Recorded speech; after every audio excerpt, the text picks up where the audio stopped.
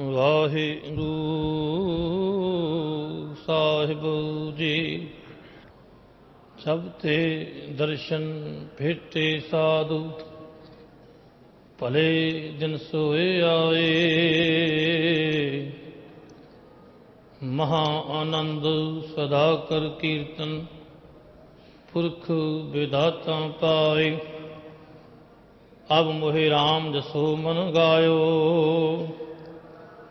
ਭਇਓ ਪ੍ਰਗਾਉ, ਸਦਾ ਸੁਖ ਮਨ ਮੈਂ। ਸਤਿਗੁਰ ਪੂਰਾ ਪਾਇਓ। ਗੁਣ ਨਿਧਾਨ ਰਿਦ ਭੀਤਰ ਵਸਿਆ। ਤਾਂ ਦੁਖ ਪਰਮ ਪਉ ਭਾਗਾ।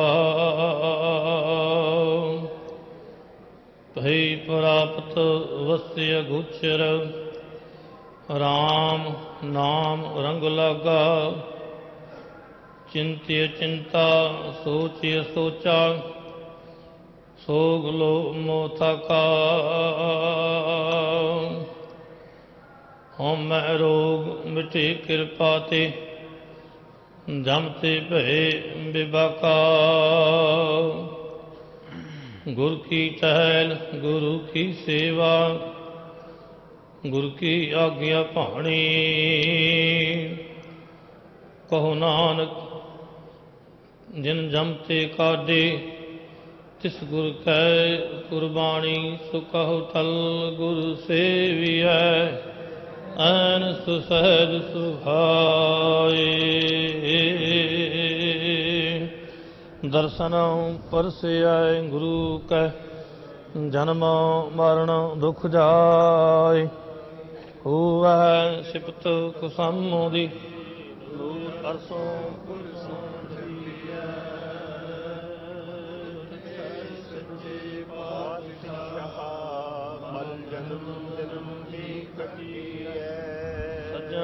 ਸੱਚਾ ਪਾਤਸ਼ਾਹ ਸਿਰਸ਼ਾਂ ਦੇ ਸ਼ਾਹੋ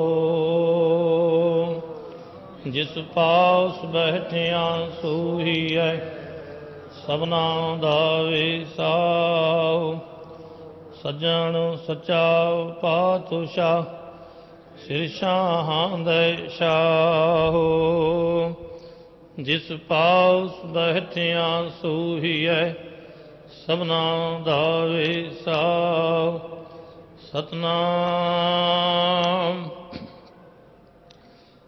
ਵਾਹਿਗੁਰੂ ਸਾਹਿਬ ਜੀ, ਸੂਰਤ ਮਹੱਲਾ ਪੰਜਵਾਂ।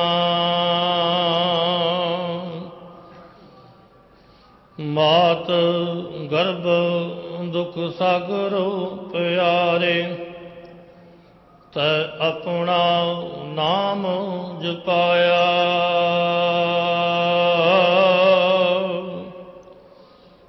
ਬਾਹਰ ਕਾੜ ਬਿਕ ਪਸਰੀਆ ਪਿਆਰੇ ਮਾਇਆ ਮੋਹ ਵਧਾਇਆ।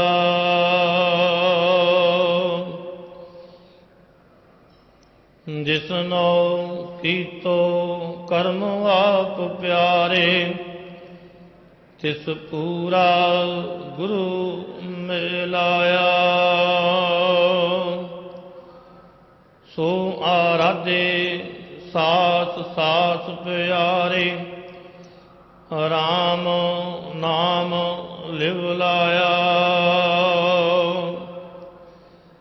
ਮਾਤ ਗਰਭ ਦੁਖ ਸਾਗਰੋਂ ਪਿਆਰੇ ਤਹ ਆਪਣਾ ਨਾਮ ਜਪਾਇਆ। ਬਾਹਰ ਕਾੜ ਬਿਕ ਪਸਰੀਆਂ ਪਿਆਰੇ, ਮਾਇਆ ਮੋਹ ਵਧਾਇਆ। ਜਿਸਨੋ ਕੀਤੋ ਕਰਮ ਆਪ ਪਿਆਰੇ ਤਿਸ ਪੂਰਾ ਗੁਰੂ ਮਿਲਾਇਆ। ਸੋ ਆਰਾਧੇ ਸਾਸ ਸਾਸ ਪਿਆਰੇ RAM ਨਾਮ ਲਿਵ ਲਾਇਆ। ਮਨ ਤਨ ਤੇਰੀ ਟੇਕ ਹੈ ਪਿਆਰੇ ਮਨ ਤਨ ਤੇਰੀ ਟੇਕ ਤੁਧ ਬਿਨ ਅਵਰ ਨਾ ਕਰਨ ਹਾਰ ਪਿਆਰੇ, ਅੰਤਰ ਜਾਮੀ ਏਕ। ਰਹਾਉ, ਕੋਟ ਜਨਮ ਭਰਮ ਆਇਆ ਪਿਆਰੇ ਅਨਕ ਜੋਨ ਦੁਖ ਪਾਏ। ਸਾਚਾ ਸਾਹਿਬ ਵਿਸਰਿਆ ਪਿਆਰੇ, ਬਹੁਤੀ ਮਿਲੈ ਸਜਾਏ। ਜਿਨ ਭੇਟੈ ਪੂਰਾ ਸਤਿਗੁਰੂ ਪਿਆਰੇ, ਸੇ ਲਾਗੇ ਸਾਚੈ ਨਾਏ ਤਿਨਾ ਪਿਛੈ ਛੁਟਿਆ ਪਿਆਰੇ, ਜੋ ਸਾਚੀ ਸ਼ਰਣਾਏ ਮਿੱਠਾ ਕਰ ਕੇ ਖਾਇਆ ਪਿਆਰੇ, ਤਿਨ ਤਨ ਕੀਤਾ ਰੋਗਾ। ਕੌੜਾ ਹੋਏ ਪਤਸਿਆ ਪਿਆਰੇ, ਤਿਸ ਤੇ ਉਪਜਿਆ ਸੋਗਾ। ਭੋਗ ਪੰਚਾਏ ਪੁਲਾਇਨ ਪਿਆਰੇ, ਉਤਰੈ ਨਹੀਂ ਵਿਜੋਗਾ। ਜੋ ਗੁਰ ਮੇਲ ਉਧਾਰਿਆ ਪਿਆਰੇ, ਤਿਨ ਤੁਰੇ ਪਿਆ ਸੰਜੋਗਾ। ਮਾਇਆ ਲਾਲਚ ਅਟਿਆ ਪਿਆਰੇ ਚੇਤਨਾ ਆਵੈ ਮੂਲ। ਜਿਨ ਤੋਂ ਵਿਸਰੈ ਪਾਰ ਬ੍ਰਹਮ ਸੁਆਮੀ ਸੇ ਤਨ ਹੋਏ ਧੂੜਾ।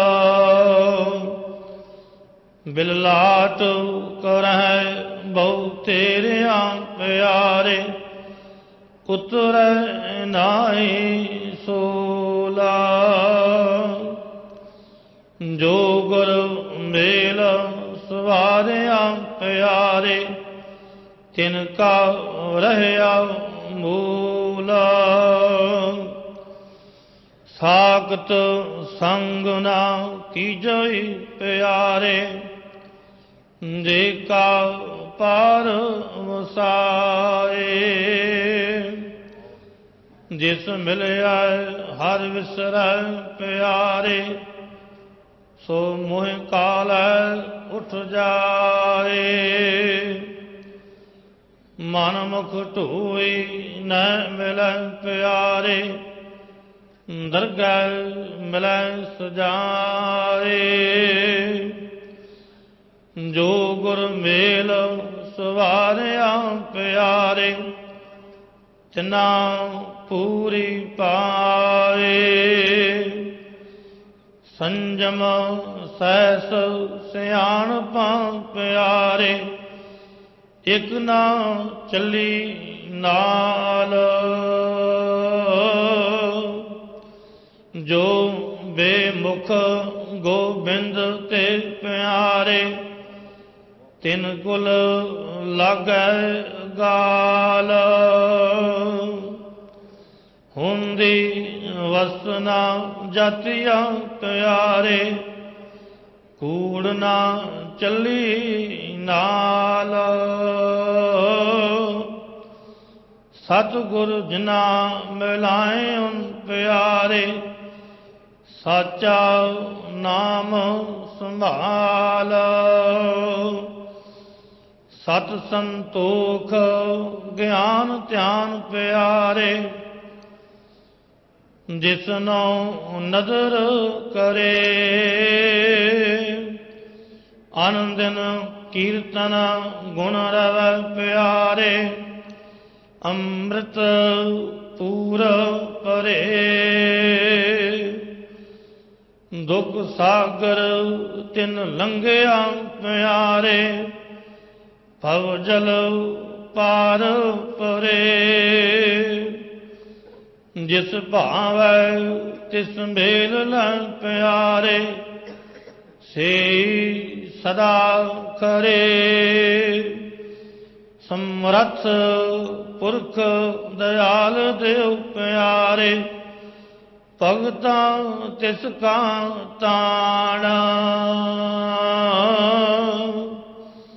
ਤਿਸ ਸਰਣਾਈ ਤੈ ਪੈ ਪਿਆਰੇ, ਜੇ ਅੰਤਰ ਜਾਮੀ ਜਾਣਾ।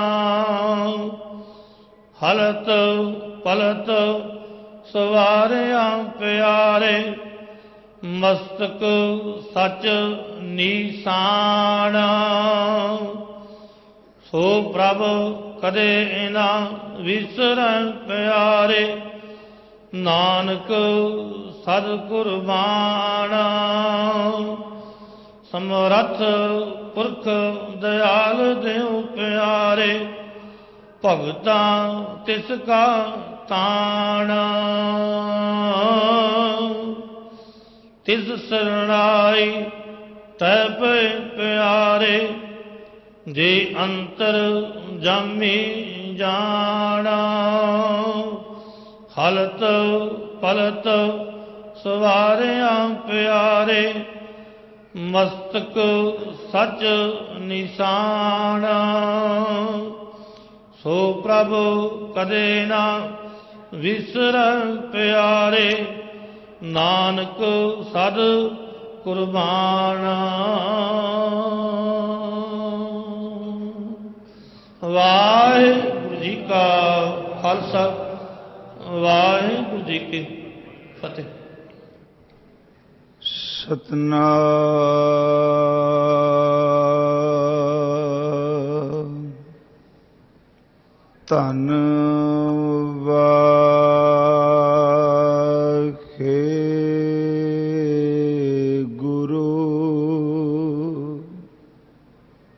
ਧੰਨ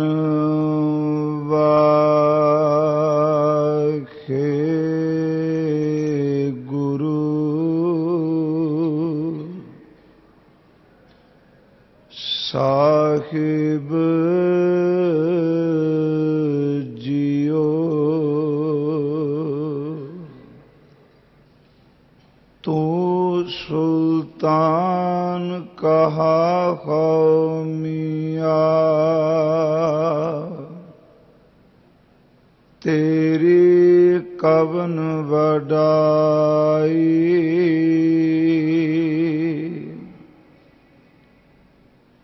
ਜੋ ਤੂੰ ਦੇ ਸੋ ਕਹਾ ਸੁਆਮੀ ਮੈਂ ਮੂਰਖ ਕਹਿਣ ਨਾ ਜਾਈ। ਜੇਤਾ ਜਿਉ ਪਿੰਡ ਸਭ ਤੇਰਾ। ਤੂੰ ਅੰਤਰ ਜਾਮੀ ਪੁਰਖ ਭਗਵਾਨ। ਦਾਸਨ ਦਾਸ ਕਹੈ ਜਨ ਨਾਨਕ ਜੇ ਖਾ ਤੂੰ ਕਰਾਹੇ ਤੇ ਖਾ ਖਾਉ ਕਰੀ ਵਖਿਆਣ ਪਰਮ ਸਨਮਾਨ ਯੋਗ ਚਵਰ ਸ਼ਤਰ ਤਖਤ ਦੇ ਮਾਲਕ ਸਤਿਗੁਰੂ ਗੁਰੂ ਗ੍ਰੰਥ ਸਾਹਿਬ ਸੱਚੇ ਪਾਤਸ਼ਾਹ ਜੀ ਦੇ ਪਾਵਨ ਪਵਿੱਤਰ ਹਜ਼ੂਰੀ ਅੰਦਰ ਸੁਭਾਏਮਾਨ ਗੁਰੂ ਸਵਾਰੇ ਸਤ ਸੰਗੀ ਜਨੋ ਅੰਮ੍ਰਿਤ ਬਚਨਾਂ ਦਾ ਕੀਰਤਨ ਔਰ ਉਸ ਤੋਂ ਉਪਰੰਤ ਸਤਿਗੁਰੂ ਗੁਰੂ ਗ੍ਰੰਥ ਸਾਹਿਬ ਜੀ ਦੇ ਅੱਜ ਆਏ ਹੋਏ ਪਾਵਨ ਪਵਿੱਤਰ ਹੁਕਮ ਦਾ ਪਾਠ ਆਪ ਜੀ ਨੇ ਗੁਰੂ ਸਵਾਰਿਆਂ ਪਾਸੋਂ ਸਰਵਣ ਕੀਤਾ ਹੈ। ਇਹ ਅੰਮ੍ਰਿਤ ਬਚਨ ਧੰਨ ਗੁਰੂ ਅਰਜੁਨ ਦੇਵ ਸੱਚੇ ਪਾਤਸ਼ਾਹ ਜੀ ਹਜ਼ੂਰ ਨੇ ਆਪਣੀ ਮੁਬਾਰਕ ਰਸਨਾ ਤੋਂ ਉਚਾਰਨ ਕੀਤੇ ਨੇ।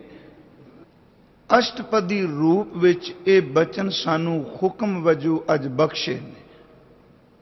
ਆਓ ਧੰਨ ਗੁਰੂ ਗ੍ਰੰਥ ਸਾਹਿਬ ਜੀ ਕਿਰਪਾ ਕਰਨ ਆਪ ਵਿੱਚ ਵਰਤ ਕੇ ਸਤਿਗੁਰੂ ਅੰਦਰ ਦਾ ਟਿਕਾ ਬਖਸ਼ ਕੇ ਅੰਮ੍ਰਿਤ ਬਚਨ ਦੀ ਵਿਚਾਰ ਆਪ ਹੀ ਕਰਾ ਲੈਣ।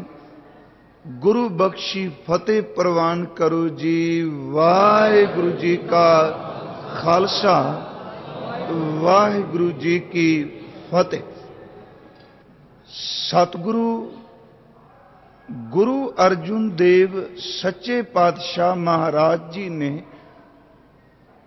ਇਸ ਅੰਮ੍ਰਿਤ ਬਚਨ ਦੀ ਪ੍ਰਾਰੰਭਤਾ ਕਰਦਿਆਂ ਹੋਇਆਂ ਸਮੁੱਚੀ ਮਾਨਵਤਾ ਨੂੰ ਇਹ ਉਪਦੇਸ਼ ਦ੍ਰਿੜ ਕਰਾਇਆ ਹੈ ਕਿ ਇਹ ਇਨਸਾਨ ਮਾਤਾ ਦੇ ਉਦਰ ਵਿੱਚ, ਉਸ ਦੁੱਖ ਦੇ ਸਾਗਰ ਵਿੱਚ, ਉਸ ਅਗਨ ਵਿੱਚ ਤੈਨੂੰ ਬਚਾਉਣ ਵਾਲਾ ਕੇਵਲ ਪਰਿਪੂਰਨ ਪਰਮੇਸ਼ਵਰ ਦਾ ਨਾਮ ਹੈ।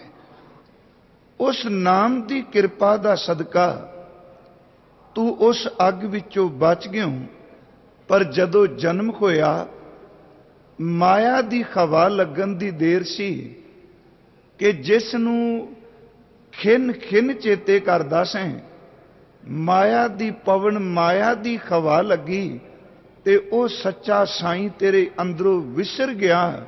ਇਸ ਮਾਇਆ ਦੇ ਜ਼ਹਿਰ ਨੂੰ ਤੂੰ ਖਾਣ ਲੱਗ ਪਿਓ ਤੇ ਨਾਮ ਰੂਪੀ ਅੰਮ੍ਰਿਤ ਦਾ ਤੂੰ ਤਿਆਗ ਕਰ ਦਿੱਤਾ।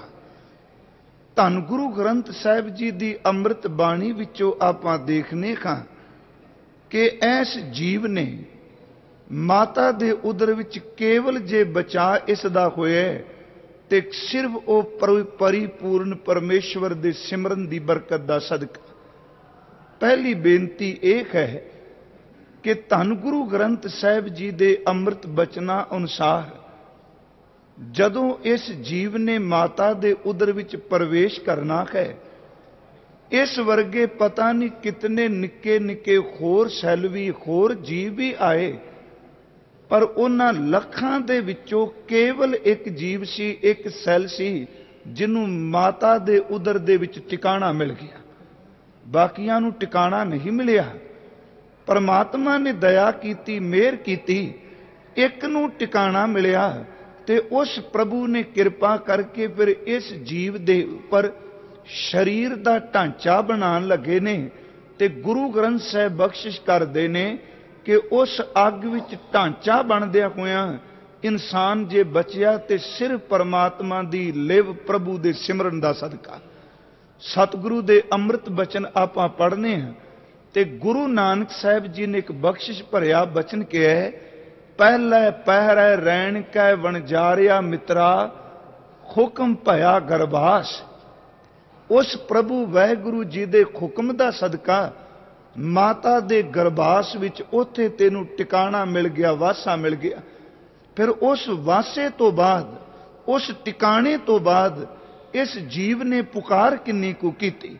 ਪਹਿਲੇ ਪਹਿਰੇ ਰਹਿਣ ਕੈ ਵਣਜਾਰਿਆ ਮਿੱਤਰਾ ਹੁਕਮ ਭਇਆ ਗਰਬਾਸ।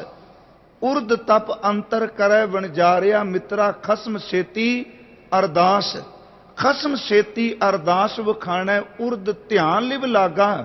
ਉਥੇ ਪਰਮਾਤਮਾ ਦੇ ਚਰਨਾਂ ਵਿੱਚ, ਪਰਮਾਤਮਾ ਦੇ ਨਾਮ ਵਿੱਚ, ਵਾਹਿਗੁਰੂ ਜੀ ਦੇ ਸਿਮਰਨ ਵਿੱਚ ਨਿਰੰਤਰ ਇਹਦੀ ਲਿਵ ਲੱਗੀ ਹੋਈ ਹੈ। ਇੱਕ ਬੇਨਤੀ ਹੋਰ ਆਰਾਮ ਵਿੱਚ ਕਰਦੇ ਹਾਂ। ਧੰਨ ਗੁਰੂ ਅਰਜੁਨ ਦੇਵ ਸੱਚੇ ਪਾਤਸ਼ਾਹ ਉਹਨਾਂ ਨੇ ਅੰਮ੍ਰਿਤ ਬਚਨ ਜੈਤ ਸ੍ਰੀ ਕੀ ਵਾਰ ਵਿੱਚ ਬਖਸ਼ਿਸ਼ ਕੀਤੇ। ਇਸ ਸੰਸਾਰ ਵਿੱਚ ਅਨੇਕਾਂ ਚਿੱਤਰਕਾਰ ਸਾਨੂੰ ਮਿਲਣਗੇ, ਅਨੇਕਾਂ ਕਲਾਕਾਰ ਮਿਲਣਗੇ। ਕਈ ਵਾਰੀ ਤੁਸੀਂ ਦੇਖਦੇ ਹੋ, ਕਈ ਐਸੇ ਸਿਆਣੇ ਮੂਰਤੀਕਾਰ ਨੇ ਜਿਹੜੇ ਪੱਥਰ ਨੂੰ ਤਰਾਸ਼ ਕੇ ਪੱਥਰ ਵਿੱਚੋਂ ਮੂਰਤੀ ਪੈਦਾ ਕਰ ਲੈਂਦੇ। ਕਈ ਐਸੇ ਸੱਜਣ ਮਿਲਣਗੇ, ਭਾਵੇਂ ਸੜਕਾਂ ਦੇ ਕਿਨਾਰੇ ਉਹ ਆਪਣੀ ਜ਼ਿੰਦਗੀ ਦੇ ਦਿਨ ਕੱਟਦੇ ਨੇ ਉਹ ਮਿੱਟੀ ਦੇ ਵਿੱਚੋਂ ਮਿੱਟੀ ਗੋ ਗੋ ਕੇ ਮੂਰਤੀਆਂ ਬਣਾ ਦੇਣਗੇ, ਮੂਰਤੀ ਤੇ ਰੰਗ ਭਰ ਦੇਣਗੇ। ਕਈ ਐਸੇ ਸੱਜਣ ਨੇ ਜਿਹੜੇ ਸੋਨੇ ਨੂੰ ਢਾਲ ਕੇ ਸੋਨੇ ਦੀ ਮੂਰਤੀ ਬਣਾ ਦਿੰਦੇ ਨੇ। ਕਈ ਸੱਜਣ ਪਿੱਤਲ ਨੂੰ ਢਾਲ ਕੇ ਪਿੱਤਲ ਦੀ ਮੂਰਤੀ ਬਣਾ ਸਕਦੇ ਨੇ। ਤੇ ਕਈ ਸੱਜਣ ਐਸੇ ਨੇ ਜਿਹੜੇ ਕਾਗਜ਼ ਦੇ ਉੱਪਰ ਮੂਰਤੀ ਨੂੰ ਆਪ ਬਣਾ ਕੇ ਉਹਦੇ ਵਿੱਚ ਰੰਗ ਭਰਦੇ ਨੇ। ਗੁਰਮਖੋ ਮਿੱਟੀ ਦੀ ਮੂਰਤੀ ਬਣਾਉਣ ਵਾਲੇ ਮਿਲ ਜਾਣਗੇ। ਸੋਨੇ ਦੇ ਧਾਤ ਦੀ ਮਿੱਟੀ ਬਣਾਉਣ, ਮੂਰਤੀ ਬਣਾਉਣ ਵਾਲੇ ਮਿਲ ਜਾਣਗੇ। ਇਸ ਸੰਸਾਰ ਵਿੱਚ ਲੋਹੇ ਦੀਆਂ ਮੂਰਤਾਂ ਬਣਾਉਣ ਵਾਲੇ ਮਿਲ ਜਾਣਗੇ। ਪਰ ਇਸ ਸੰਸਾਰ ਵਿੱਚ ਪਾਣੀ ਦੀ ਇੱਕ ਬੂੰਦ ਤੋਂ ਕੋਈ ਵੀ ਮੂਰਤੀ ਨਹੀਂ ਬਣਾ ਸਕਦਾ। ਉਹ ਕੇਵਲ ਪਰਿਪੂਰਨ ਪਰਮੇਸ਼ਰ ਹੈ, ਜਿਸ ਨੇ ਕਿਰਪਾ ਕਰਕੇ ਸਾਡੀ ਮੂਰਤੀ ਕੇਵਲ ਇੱਕ ਪਾਣੀ ਦੀ ਬੂੰਦ ਤੋਂ ਬਣਾਈ। ਪਾਣੀ ਦੀ ਇੱਕ ਬੂੰਦ ਤੋਂ ਮੂਰਤ ਬਣਾ ਦਿੱਤੀ। ਫਿਰ ਇਸ ਮੂਰਤ ਨੂੰ ਬਣਾਉਂਦਿਆਂ ਇੱਕ ਕਿਰਪਾਲਤਾ ਉਸ ਵਹਿਗੁਰੂ ਜੀ ਨੇ ਖੋਰ ਕੀਤੀ। ਸਤਿਗੁਰੂ ਦੇ ਅੰਮ੍ਰਿਤ ਬਚਨ ਅਸੀਂ ਪੜ੍ਹਨੇ ਆ ਹਜ਼ੂਰ ਦਾ ਬਚਨ ਹੈ ਰਚੰਤ ਜੀ ਰਚਨਾ, ਮਾਤ ਗਰਭ ਅਸਥਾਪਨੰ। ਖੇ ਜੀਵ, ਤੇਰੀ ਰਚਨਾ ਉਸ ਪਰਿਪੂਰਨ ਪਰਮੇਸ਼ਵਰ ਵਾਹਿਗੁਰੂ ਜੀ ਨੇ ਮਾਤਾ ਦੇ ਉਦਰ ਵਿੱਚ ਕੀਤੀ। ਰਾਚੰਤ ਜੀ ਰਚਨਾ ਮਾਤ ਗਰਭ ਅਸਥਾਪਨੰਗ ਤੇ ਉਸ ਅੱਗ ਵਿੱਚੋਂ ਬਚਿਆ ਕਿਵੇਂ? ਸਾਸ ਸਾਸ, ਸਿਮਰੰਤ ਨਾਨਕ ਮਹਾ ਅਗਨ ਨਾ ਵਿਨਾਸਨ ਸਾਹਿਬ ਕਹਿੰਦੇ ਨੇ ਉਸ ਮਹਾ ਅਗਨੀ ਵਿੱਚੋਂ ਪਰਿਪੂਰਨ ਪਰਮੇਸ਼ਵਰ ਵਾਹਿਗੁਰੂ ਜੀ ਨੇ ਕਿਰਪਾ ਕਰਕੇ ਤੈਨੂੰ ਬਚਾ ਦਿੱਤਾ। ਅਸੀਂ ਖਜ਼ੂਰ ਦੇ ਅੰਮ੍ਰਿਤ ਬਚਨਿਕ ਲੈਨੇ ਆ। ਸੁਖਮਨੀ ਸਾਹਿਬ ਜੀ ਦੀ ਅੰਮ੍ਰਿਤ ਬਾਣੀ ਵਿੱਚ ਧੰਨ ਗੁਰੂ ਅਰਜੁਨ ਦੇਵ ਸੱਚੇ ਪਾਤਸ਼ਾਹ ਜੀ ਨੇ ਇੱਕ ਪਦੇ ਦੇ ਰਾਹੀਂ ਇਸ ਮਨੁੱਖ ਦੀ ਪੂਰੀ ਹਕੀਕਤ ਨੂੰ ਬਿਆਨ ਕਰ ਦਿੱਤਾ ਹੈ। ਕਿਉਂਕਿ ਸਾਡਾ ਮਨ ਕਈ ਵਾਰੀ ਉਤਾਵਲਾ ਹੋ ਕੇ ਸੰਸਾਰਕ ਪਦਾਰਥਾਂ ਦੀ ਥੋੜ ਆ ਜਾਏ ਤੇ ਇਹ ਕਹਿੰਦਾ, ਦੇਖੋ, ਪ੍ਰਮਾਤਮਾ ਨੇ ਸਾਨੂੰ ਦਿੱਤਾ ਕੀ? ਪਿਆਰਿਓ, ਧਨ ਨਹੀਂ, ਜ਼ਮੀਨ ਨਹੀਂ, ਮਹਿਲ ਮਾੜੀਆਂ ਨਹੀਂ। ਜੋ ਵੈਗੁਰੂ ਜੀ ਨੇ ਤਰੁੱਟ ਕੇ ਸਾਨੂੰ ਇਹ ਸਰੀਰ ਹੀ ਦੇ ਦਿੱਤਾ ਹੈ ਤੇ ਗੁਰੂ ਅਰਜੁਨ ਸਾਹਿਬ ਮੇਰ ਕਰਕੇ ਕਹਿੰਦੇ ਨੇ, ਆ, ਮੈਂ ਤੈਨੂੰ ਦੱਸਣਾ ਵਾ, ਤੈਨੂੰ ਪਰਮਾਤਮਾ ਨੇ ਕਿੰਨੀਆਂ ਕੁ ਦਾਤਾਂ ਬਖਸ਼ੀਆਂ ਕਿਵੇਂ ਤੈਨੂੰ ਇਸ ਮਾਤਾ ਦੇ ਉਦਰ ਵਿੱਚ ਉਹਨਾਂ ਬਚਾਇਆ? ਪਹਿਲੀ ਬੇਨਤੀ ਮੈਂ ਕੀਤੀ ਹੈ ਕਿ ਪਾਣੀ ਦੀ ਇੱਕ ਬੂੰਦ ਤੋਂ ਪਰਮਾਤਮਾ ਨੇ ਤੇਰੇ ਇਸ ਸਰੀਰ ਦੀ ਖੋਂਦ ਕਾਇਮ ਕਰ ਦਿੱਤੀ। ਦੂਸਰੀ ਕਿਰਪਾਲਤਾ ਇਹ ਕੀਤੀ ਉਹਨੇ ਕਿ ਉਸ ਸੁਚੱਜੇ ਸੁਗੜ ਸੁਜਾਨ ਕਾਰੀਗਰ ਨੇ ਤੇਰੇ ਸਰੀਰ ਦੇ ਢਾਂਚੇ ਨੂੰ ਬਣਾਉਣਾ ਸ਼ੁਰੂ ਕਰ ਦਿੱਤਾ। ਪਿਆਰਿਆ, ਖੱਡੀਆਂ ਦਾ ਢਾਂਚਾ ਉੱਪਰ ਚਮੜੀ ਦਾ ਲੇਪਣ ਕਰ ਦਿੱਤਾ ਤੇ ਉਸ ਪ੍ਰਭੂ ਨੇ ਥਾਂ ਪਰ ਥਾਂ ਤੇਰੇ ਇੰਦਰੇ ਕਾਇਮ ਕਰ ਦਿੱਤੇ ਤੇ ਦੇਖ ਉਸ ਮਾਲਕ ਨੇ ਇੰਨੀ ਕੁ ਕਿਰਪਾਲਤਾ ਕੀਤੀ ਕਿ ਕੇਵਲ ਤੂੰ ਇੱਕ ਨਿੱਕਾ ਜਿਹਾ ਕੋਮਲ ਮਾਸ ਦਾ ਟੁਕੜਾ ਸੈਂ। ਇਹ ਗੁਰੂ ਗ੍ਰੰਥ ਸਾਹਿਬ ਦੇ ਬਚਨਾਂ ਵਿੱਚੋਂ ਹੈ ਅੱਜ ਦੇ ਸ਼ਬਦ ਤੇ ਅੱਜ ਦੀ ਅਸ਼ਟਪਦੀ ਦੀ ਵਿਚਾਰ ਤੇ ਆਧਾਰਿਤ। ਬਾਹਰ ਕੋਈ ਮਾਸ ਨੂੰ ਅੱਗ ਤੇ ਰੱਖੇ ਤੇ ਇੱਕ ਘੰਟੇ ਵਿੱਚ ਮਾਸ ਗਲ ਜਾਂਦਾ ਹੈ, ਸੜ ਜਾਂਦਾ ਹੈ। ਤਨ ਗੁਰੂ ਅਰਜੁਨ ਸਾਹਿਬ ਬਖਸ਼ਿਸ਼ ਕਰਦੇ ਨੇ ਇਹ ਬੰਦਿਆ, ਮਾਤਾ ਦੇ ਉਦਰ ਵਿੱਚ ਕੋਮਲ ਜਾਂ ਇੱਕ ਮਾਸ ਦਾ ਲੋਥੜਾ ਹੈ। ਬਾਹਰ ਦੀ ਅੱਗ ਨਾਲੋਂ ਕਈ ਗੁਣਾ ਅੰਦਰ ਦੀ ਅੱਗ ਜ਼ਿਆਦਾ ਸੀ, ਪਰ ਮੇਰੇ ਵਹਿਗੁਰੂ ਨੇ ਉਸ ਮਾਸ ਦੇ ਟੁਕੜੇ ਨੂੰ ਤੱਤੀ ਵਾਹ ਨਹੀਂ ਲੱਗਣ ਦਿੱਤੀ। ਇਹ ਪਰਮਾਤਮਾ ਦੀ ਦਇਆ ਹੈ। ਉਸ ਪ੍ਰਭੂ ਦੀ ਕਿਰਪਾਲਤਾ ਹੈ ਸਾਹਿਬ ਗੁਰੂ ਅਰਜੁਨ ਦੇਵ ਜੀ ਦਾ ਇਹ ਪਦਾ ਹੈ ਪਹਿਲਾਂ ਤਾਂ ਮਨੁੱਖਾਂ ਨੂੰ ਚੇਤੇ ਕਰਾਉਂਦੇ ਨੇ ਕਿ ਵਾਹਿਗੁਰੂ ਜੀ ਨੇ ਕਿੰਨੀ ਕੁ ਤੇਰੇ ਤੇ ਕਿਰਪਾ ਕੀਤੀ ਤੇ ਨਾਲ ਫਿਰ ਤਰੁੱਠ ਕੇ ਕਹਿੰਦੇ ਨੇ ਇਹ ਇਨਸਾਨ ਤਾਂ ਵਾਹਿਗੁਰੂ ਭੁੱਲ ਗਿਆ ਪਰ ਤੁਸੀਂ ਕਿਰਪਾ ਕਰੋ ਕਿ ਇਸ ਬੰਦੇ ਨੂੰ ਬਖਸ਼ ਦੇਵੋ ਤੇਰੇ ਕੀਤੇ ਹੋਏ ਪਰਉਪਕਾਰ ਨੂੰ ਇਹਨੇ ਚੇਤੇ ਨਹੀਂ ਰੱਖਿਆ ਸਤਿਗੁਰੂ ਦੇ ਅੰਮ੍ਰਿਤ ਬਚਨ ਅਸੀਂ ਪੜ੍ਹਨੇ ਆ ਰਮਈਆ ਕੇ ਗੁਣ ਚੇਤ ਪ੍ਰਾਨੀ, ਉਸ ਪਰਮਾਤਮਾ ਦੇ ਗੁਣਾਂ ਨੂੰ, ਉਸ ਵਾਹਿਗੁਰੂ ਜੀ ਦੇ ਪਰਉਪਕਾਰ ਨੂੰ ਤੂੰ ਚੇਤੇ ਕਰ। ਰਮਈਆ ਕੇ ਗੁਣ ਚੇਤ ਪ੍ਰਾਨੀ, ਕਵਨ ਮੂਲ ਤੇ ਕਵਨ ਦ੍ਰਿਸ਼ਟਾਨੀ, ਜਿਨ ਤੂੰ ਸਾਜ, ਸਵਾਰ, ਸ਼ਿੰਗਾਰਿਆ। ਵਾਹਿਗੁਰੂ ਜੀ ਨੇ ਤੈਨੂੰ ਸਾਜਿਆ ਵੀ, ਤੈਨੂੰ ਸਵਾਰਿਆ ਵੀ, ਤੇ ਇੱਕ ਕਿਰਪਾਲਤਾ ਹੋਰ ਤੇਰੇ ਤੇ ਕਰ ਦਿੱਤੀ।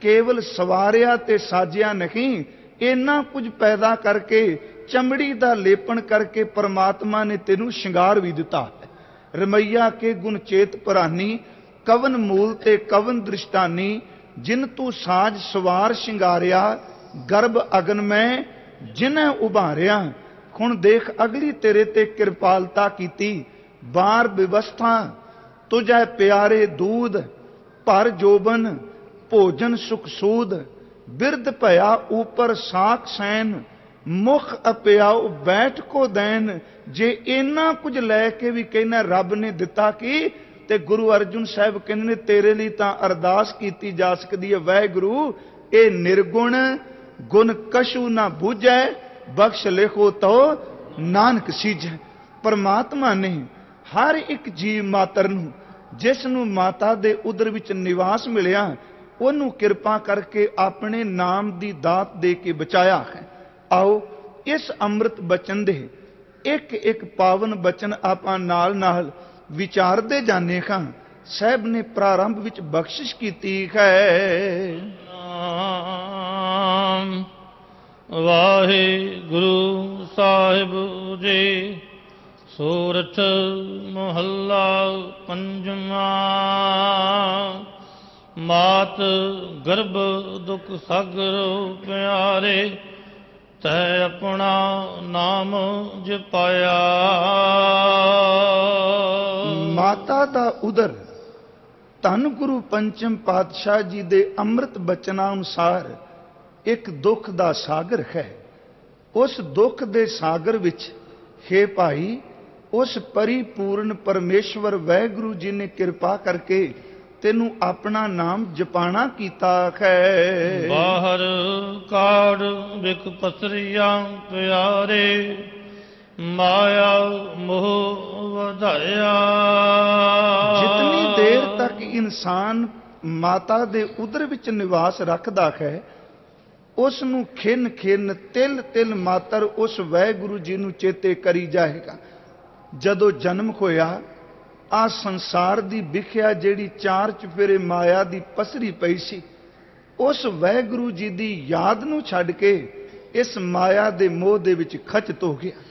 ਭਾਈ ਸਾਹਿਬ, ਭਾਈ ਗੁਰਦਾਸ ਜੀ ਹੋਣਾ ਨੇ ਬਹੁਤ ਪਿਆਰਾ ਇੱਕ ਬਚਨ ਕਿਹਾ ਹੈ, ਕਹਿੰਦੇ ਨੇ, ਜਦੋਂ ਬੱਚੇ ਦਾ ਜਨਮ ਹੁੰਦਾ ਹੈ, ਤੇ ਸਭ ਤੋਂ ਪਹਿਲਾਂ ਜਨਮ ਵੇਲੇ ਬੱਚੇ ਦਾ ਰੋਣ ਦੀ ਆਵਾਜ਼ ਸੁਣਾਈ ਦਿੰਦੀ ਹੈ। ਭਾਵੇਂ ਫਿਜ਼ੀਕਲ ਤੌਰ ਤੇ ਲੋਕ ਇਸ ਦੇ ਜੋ ਮਰਜ਼ੀ ਅਰਥ ਕਰੀ ਜਾਣ। ਸਿਆਣੇ ਕਹਿੰਦੇ ਨੇ, ਬੱਚਾ ਤਾਂ ਰੋਇਆ ਕਿਉਂਕਿ ਇਸ ਨੂੰ ਜਨਮ ਵੇਲੇ ਦੀ ਪੀੜਾ ਸੀ, ਉਸ ਪੀੜਾ ਦੇ ਦੁੱਖ ਕਰਕੇ ਰੋਂਦਾ ਪਰ ਭਾਈ ਸਾਹਿਬ ਜੀ ਕਹਿੰਦੇ ਨੇ, ਨਹੀਂ, ਕੇਵਲ ਜਨਮ ਵੇਲੇ ਦੀ ਪੀੜਾ ਨਹੀਂ, ਇਹਨੂੰ ਹੁਣ ਪਤਾ ਹੈ ਕਿ ਅਜੇ ਤੱਕ ਤਾਂ ਸਾਈਂ ਦੇ ਚਰਨਾਂ ਨਾਲ ਜੁੜਿਆ ਸਾਂ। ਕੇਵਲ ਇੱਕ ਜਨਮ ਦੀ ਪੀੜਾ ਨਹੀਂ, ਜੇ ਅੱਜ ਪ੍ਰਮਾਤਮਾ ਭੁੱਲ ਗਿਆ ਅੱਜ ਤੋਂ ਬਾਅਦ ਤਾਂ ਜਨਮਾਂ ਜਨਮਾਂਤਰਾਂ ਦੀ ਪੀੜਾ ਆ ਚੰਬੜੇਗੀ। ਭਾਈ ਸਾਹਿਬ ਨੇ ਬਚਨ ਕੀਤੇ ਨੇ, ਕਹਿੰਦੇ ਨੇ ਬੱਚੇ ਦਾ ਜਨਮ ਹੋਇਆ ਉਹ ਉੱਚੀ ਸਰੀ ਰੋਣ ਲੱਗ ਪਿਆ ਹੈ ਤੇ ਪਰਿਵਾਰ ਇੱਕ ਦੂਜੇ ਨੂੰ ਵਧਾਈ ਦਿੰਦਾ ਹੈ। ਪਰਿਵਾਰ ਇੱਕ ਦੂਜੇ ਦਾ ਮੂੰਹ ਮਿੱਠਾ ਕਰਦਾ ਹੈ। ਕਹਿਣ ਲੱਗੇ, ਤੁਸੀਂ ਤਾਂ ਹੱਸਦੇ ਹੋ, ਪਰ ਉਸ ਰੋਣ ਵਾਲੇ ਨੂੰ ਪੁੱਛ ਕੇ ਦੇਖੋ, ਉਹਦੇ ਰੋਣ ਦਾ ਕਾਰਨ ਕੀ ਹੈ? ਉਹਦੇ ਰੋਣ ਤੇ ਤੁਹਾਡਾ ਮੂੰਹ ਮਿੱਠਾ ਉਸ ਦੇ ਰੋਣ ਤੇ ਤੁਹਾਡੇ ਮੁਖ ਵਿੱਚੋਂ ਖਾਸਾ ਤੇ ਭਾਈ ਸਾਹਿਬ ਨੇ ਬਖਸ਼ਿਸ਼ ਕੀਤੀ, ਕਹਿਣ ਲੱਗੇ, ਰੋਵੈ, ਰਤਨ ਗਵਾਏ ਕੈ ਮਾਇਆ, ਮੋਹ, ਹਨੇਰ, ਗੁਬਾਰਾ, ਉਹ ਰੋਵੈ, ਦੁੱਖ ਆਪਣਾ ਖਾਸਾ ਸਗਾਵੈ, ਸਭ ਪਰਵਾਹ। ਉਹ ਆਪਣਾ ਦੁੱਖ ਰੋਂਦਾ ਪਿਆ ਹੈ ਕਿ ਅੱਜ ਦੀ ਲਿਵ ਟੁੱਟੀ। ਪਤਾ ਨਹੀਂ ਪਰਮਾਤਮਾ ਵਹਿਗੁਰੂ ਜੀ ਪਰਤ ਕੇ ਕਦੋਂ ਲਿਵ ਜੁੜੇਗੀ, ਕਿਉਂਕਿ ਇਹ ਵਿੱਚੋਂ ਗਰਭ ਹੈ ਨਿਕਲ ਆਇਆ ਖਸਮ ਵਿਸਾਰ, ਦੁਨੀ ਚਿਤਲਾ ਗੁਰੂ ਪੰਚਮ ਪਿਤਾ ਮੇਰ ਪੈ ਕਰਦੇ ਨੇ ਕਹਿੰਦੇ ਨੇ, ਖੇ ਭਾਈ, ਮਾਤਾ ਦਾ ਉਦਰ, ਇੱਕ ਦੁੱਖ ਦਾ ਸਾਗਰ ਹੈ। ਉਥੇ ਪਿਆਰੇ ਵਹਿਗੁਰੂ ਜੀ ਨੇ ਤੈਨੂੰ ਆਪਣੇ ਨਾਮ ਦੀ ਦਾਤ ਦਿੱਤੀ। ਜਨਮ ਹੋਇਆ ਸੰਸਾਰ ਵਿੱਚ ਆਇਆ ਤੇ ਇੱਥੇ ਵਿਖਿਆ ਪਸਰੀ ਪਈ ਸੀ। ਇਸ ਵਿਖਿਆ ਨੇ ਤੇਰੇ ਉੱਤੇ ਆਪਣਾ ਪ੍ਰਭਾਵ ਪਾ ਲਿਆ। ਹਾਂ, ਜ਼ਰੂਰੀ ਨਹੀਂ ਕਿ ਹਰ ਇੱਕ ਇਸ ਸੰਸਾਰ ਤੇ ਆਇਆ ਹੋਇਆ, ਉਹਦਾ ਰੋਣਾ ਜਿਹੜਾ ਹੈ, ਉਹਦਾ ਸੰਸਾਰ ਤੇ ਆਉਣਾ ਦੁੱਖ ਦਾ ਕਾਰਨ ਬਣ ਜਾਏ। ਗੁਰਮਖੋ, ਜਿਹੜੇ ਪ੍ਰਭੂ ਦੇ ਚਰਨਾਂ ਨਾਲ ਜੁੜਦੇ ਨੇ, ਉਹ ਤਾਂ ਮਾਤਾ ਦੇ ਉਦਰ ਵਾਲੀ ਉਸ ਘਟਨਾ ਨੂੰ ਚੇਤੇ ਕਰਕੇ ਨਾਲ ਬੇਨਤੀ ਕਰ ਦਿੰਦੇ ਨੇ ਸੱਚੇ ਪਾਤਸ਼ਾਹ ਕਿ ਮਾਤ ਗਰਭ ਮੈਂ ਆਪਨ ਸਿਮਰਨ ਦੇ, ਤੈ ਤੁਮ ਰਾਖਣ ਹਾਰੇ ਹੁਣ ਕਿਰਪਾ ਕਰੋ, ਪਾਵਕ ਸਾਗਰ ਅਥਾਹ ਲਹਿਰ ਮੈਂ, ਤਾਰੋ ਤਾਰ ਨਖਾਰੇ। ਜੇ ਉਥੇ ਦੁੱਖ ਦੇ ਸਾਗਰ ਵਿੱਚੋਂ ਬਚਾਇਆ ਜੇ, ਤੇ ਕਿਰਪਾਲਤਾ ਕਰੋ। ਹੁਣ ਸਾਨੂੰ ਇੱਥੇ ਵੀ ਦੁੱਖ ਦੇ ਸਾਗਰ ਤੋਂ ਬਚਾ ਲਓ। ਪਰ ਜਿਹੜੇ ਪ੍ਰਭੂ ਦੇ ਚਰਨਾਂ ਨਾਲ ਜੁੜੇ ਹੋਏ, ਬਖਸ਼ੀਆਂ ਹੋਈਆਂ ਰੂਹਾਂ ਆਉਂਦੀਆਂ ਨੇ, ਉਹਨਾਂ ਕੋਲ ਰੋਣਾ ਨਹੀਂ। ਜਨਮ ਸਾਖੀ ਵਾਲੇ ਨੇ, ਇੱਕ ਬਹੁਤ ਸੋਹਣੀ ਘਟਨਾ ਸਾਂਭ ਕੇ ਰੱਖੀ ਹੈ। ਤਨ ਗੁਰੂ ਨਾਨਕ ਸਾਹਿਬ ਕਿਰਪਾਲੂ ਸੱਚੇ ਪਾਤਸ਼ਾਹ, ਜਦੋਂ ਇਸ ਸੰਸਾਰ ਤੇ ਬਖਸ਼ਿਸ਼ ਕਰਨ ਵਾਸਤੇ ਆਏ ਨੇ, ਉਸ ਵੇਲੇ ਉਹਨਾਂ ਨੇ ਆਉਣ ਵੇਲੇ ਦਾ ਜਿਹੜਾ ਦ੍ਰਿਸ਼ ਪੇਸ਼ ਕੀਤਾ ਹੈ, ਉਹਨੂੰ ਭਾਈ ਸਾਹਿਬ, ਭਾਈ ਸੰਤੋਖ ਸਿੰਘ ਜੀ ਨੇ ਸਿਰਫ ਇੱਕ ਖਿੰਨ ਮਾਤਰ ਮੈਰਜ ਕਰ ਲਗਾ ਕਿ ਦੇਖੋ ਇਹ ਉਹਨਾਂ ਲਈ ਬਚਨ ਨੇ ਜਿਨ੍ਹਾਂ ਉੱਤੇ ਮਾਇਆ ਨੇ ਆਪਣਾ ਪ੍ਰਭਾਵ ਪਾ ਲਿਆ, ਪਰ ਹਰ ਇੱਕ ਲਈ ਨਹੀਂ, ਜਿਹੜੇ ਆ ਕੇ ਕਰਤਾਰ ਦੇ ਚਰਨਾਂ ਨਾਲ ਜੁੜ ਗਏ ਉਹਨਾਂ ਨੂੰ ਤਾਂ ਬਖਸ਼ਿਸ਼ ਕਰਕੇ ਕਿਹਾ, ਪਿਆਰਿਓ, ਕਿ ਜਨਮ ਮਰਨ ਦੋਹੂ ਮੈਂ ਨਾਹੀ, ਜਨ ਪਰ ਉਪਕਾਰੀ ਆਏ, ਜੀ ਦਾਨ ਦੇ ਭਗਤੀ ਲਾਇਨ ਖਰਸ਼ਿਓ ਲੈਣ ਮਿਲਾਏ। ਉਹ ਦੁੱਖ ਭੋਗਣ ਵਾਸਤੇ ਨਹੀਂ, ਉਹ ਤਾਂ ਜਨ ਆਵਨ ਕਾ ਇੱਕ ਹੈ ਸੁਭਾਓ, ਜਨ ਕੈ ਸੰਗ ਚਿਤ ਆਵੇ ਨਾਉ, ਆਪ ਮੁਕਤ ਮੁਕਤ ਕਰੈ ਸੰਸਾਰ, ਨਾਨਕ ਤਿਸ ਜਨ ਕੋ, ਸਦਾ ਨਮਸਕਾਰ। ਤਨ ਗੁਰੂ ਨਾਨਕ ਸਾਹਿਬ ਆਏ ਨੇ। ਹਰ ਇੱਕ ਸਾਖੀਕਾਰ ਨੇ ਇੱਕ ਗੱਲ ਕਹੀ ਹੈ। ਕਈਆਂ ਨੇ ਤਾਂ ਸ਼ਬਦ ਵੀ ਕਹੇ ਕਿ ਸ਼ਬਦ ਦੀ ਆਵਾਜ਼ ਸੁਣਾਈ ਦਿੱਤੀ, ਨਿਰੰਕਾਰ ਸ਼ਬਦ ਦੀ ਆਵਾਜ਼ ਸੁਣਾਈ ਦਿੱਤੀ, ਪਰ ਹਕੀਕਤ ਵਿੱਚ ਉਹ ਇੱਕ ਗੱਲ ਸਾਰੇ ਸਹਿਮਤ ਨੇ ਕਿ ਗੁਰੂ ਨਾਨਕ ਸਾਹਿਬ ਆਏ, ਸੰਸਾਰ ਵਿੱਚ ਜਦੋਂ ਕੋਈ ਬੱਚਾ ਜਨਮ ਲੈਂਦਾ ਹੈ, ਉਹਦੇ ਰੋਣ ਦੀ ਆਵਾਜ਼ ਸੁਣਾਈ ਦਿੰਦੀ ਏ ਤੇ ਗੁਰੂ ਨਾਨਕ ਸਾਹਿਬ ਆਏ, ਉਹ ਆਉਂਦਿਆਂ ਸਾਰ ਮੁਸਕਰਾਏ।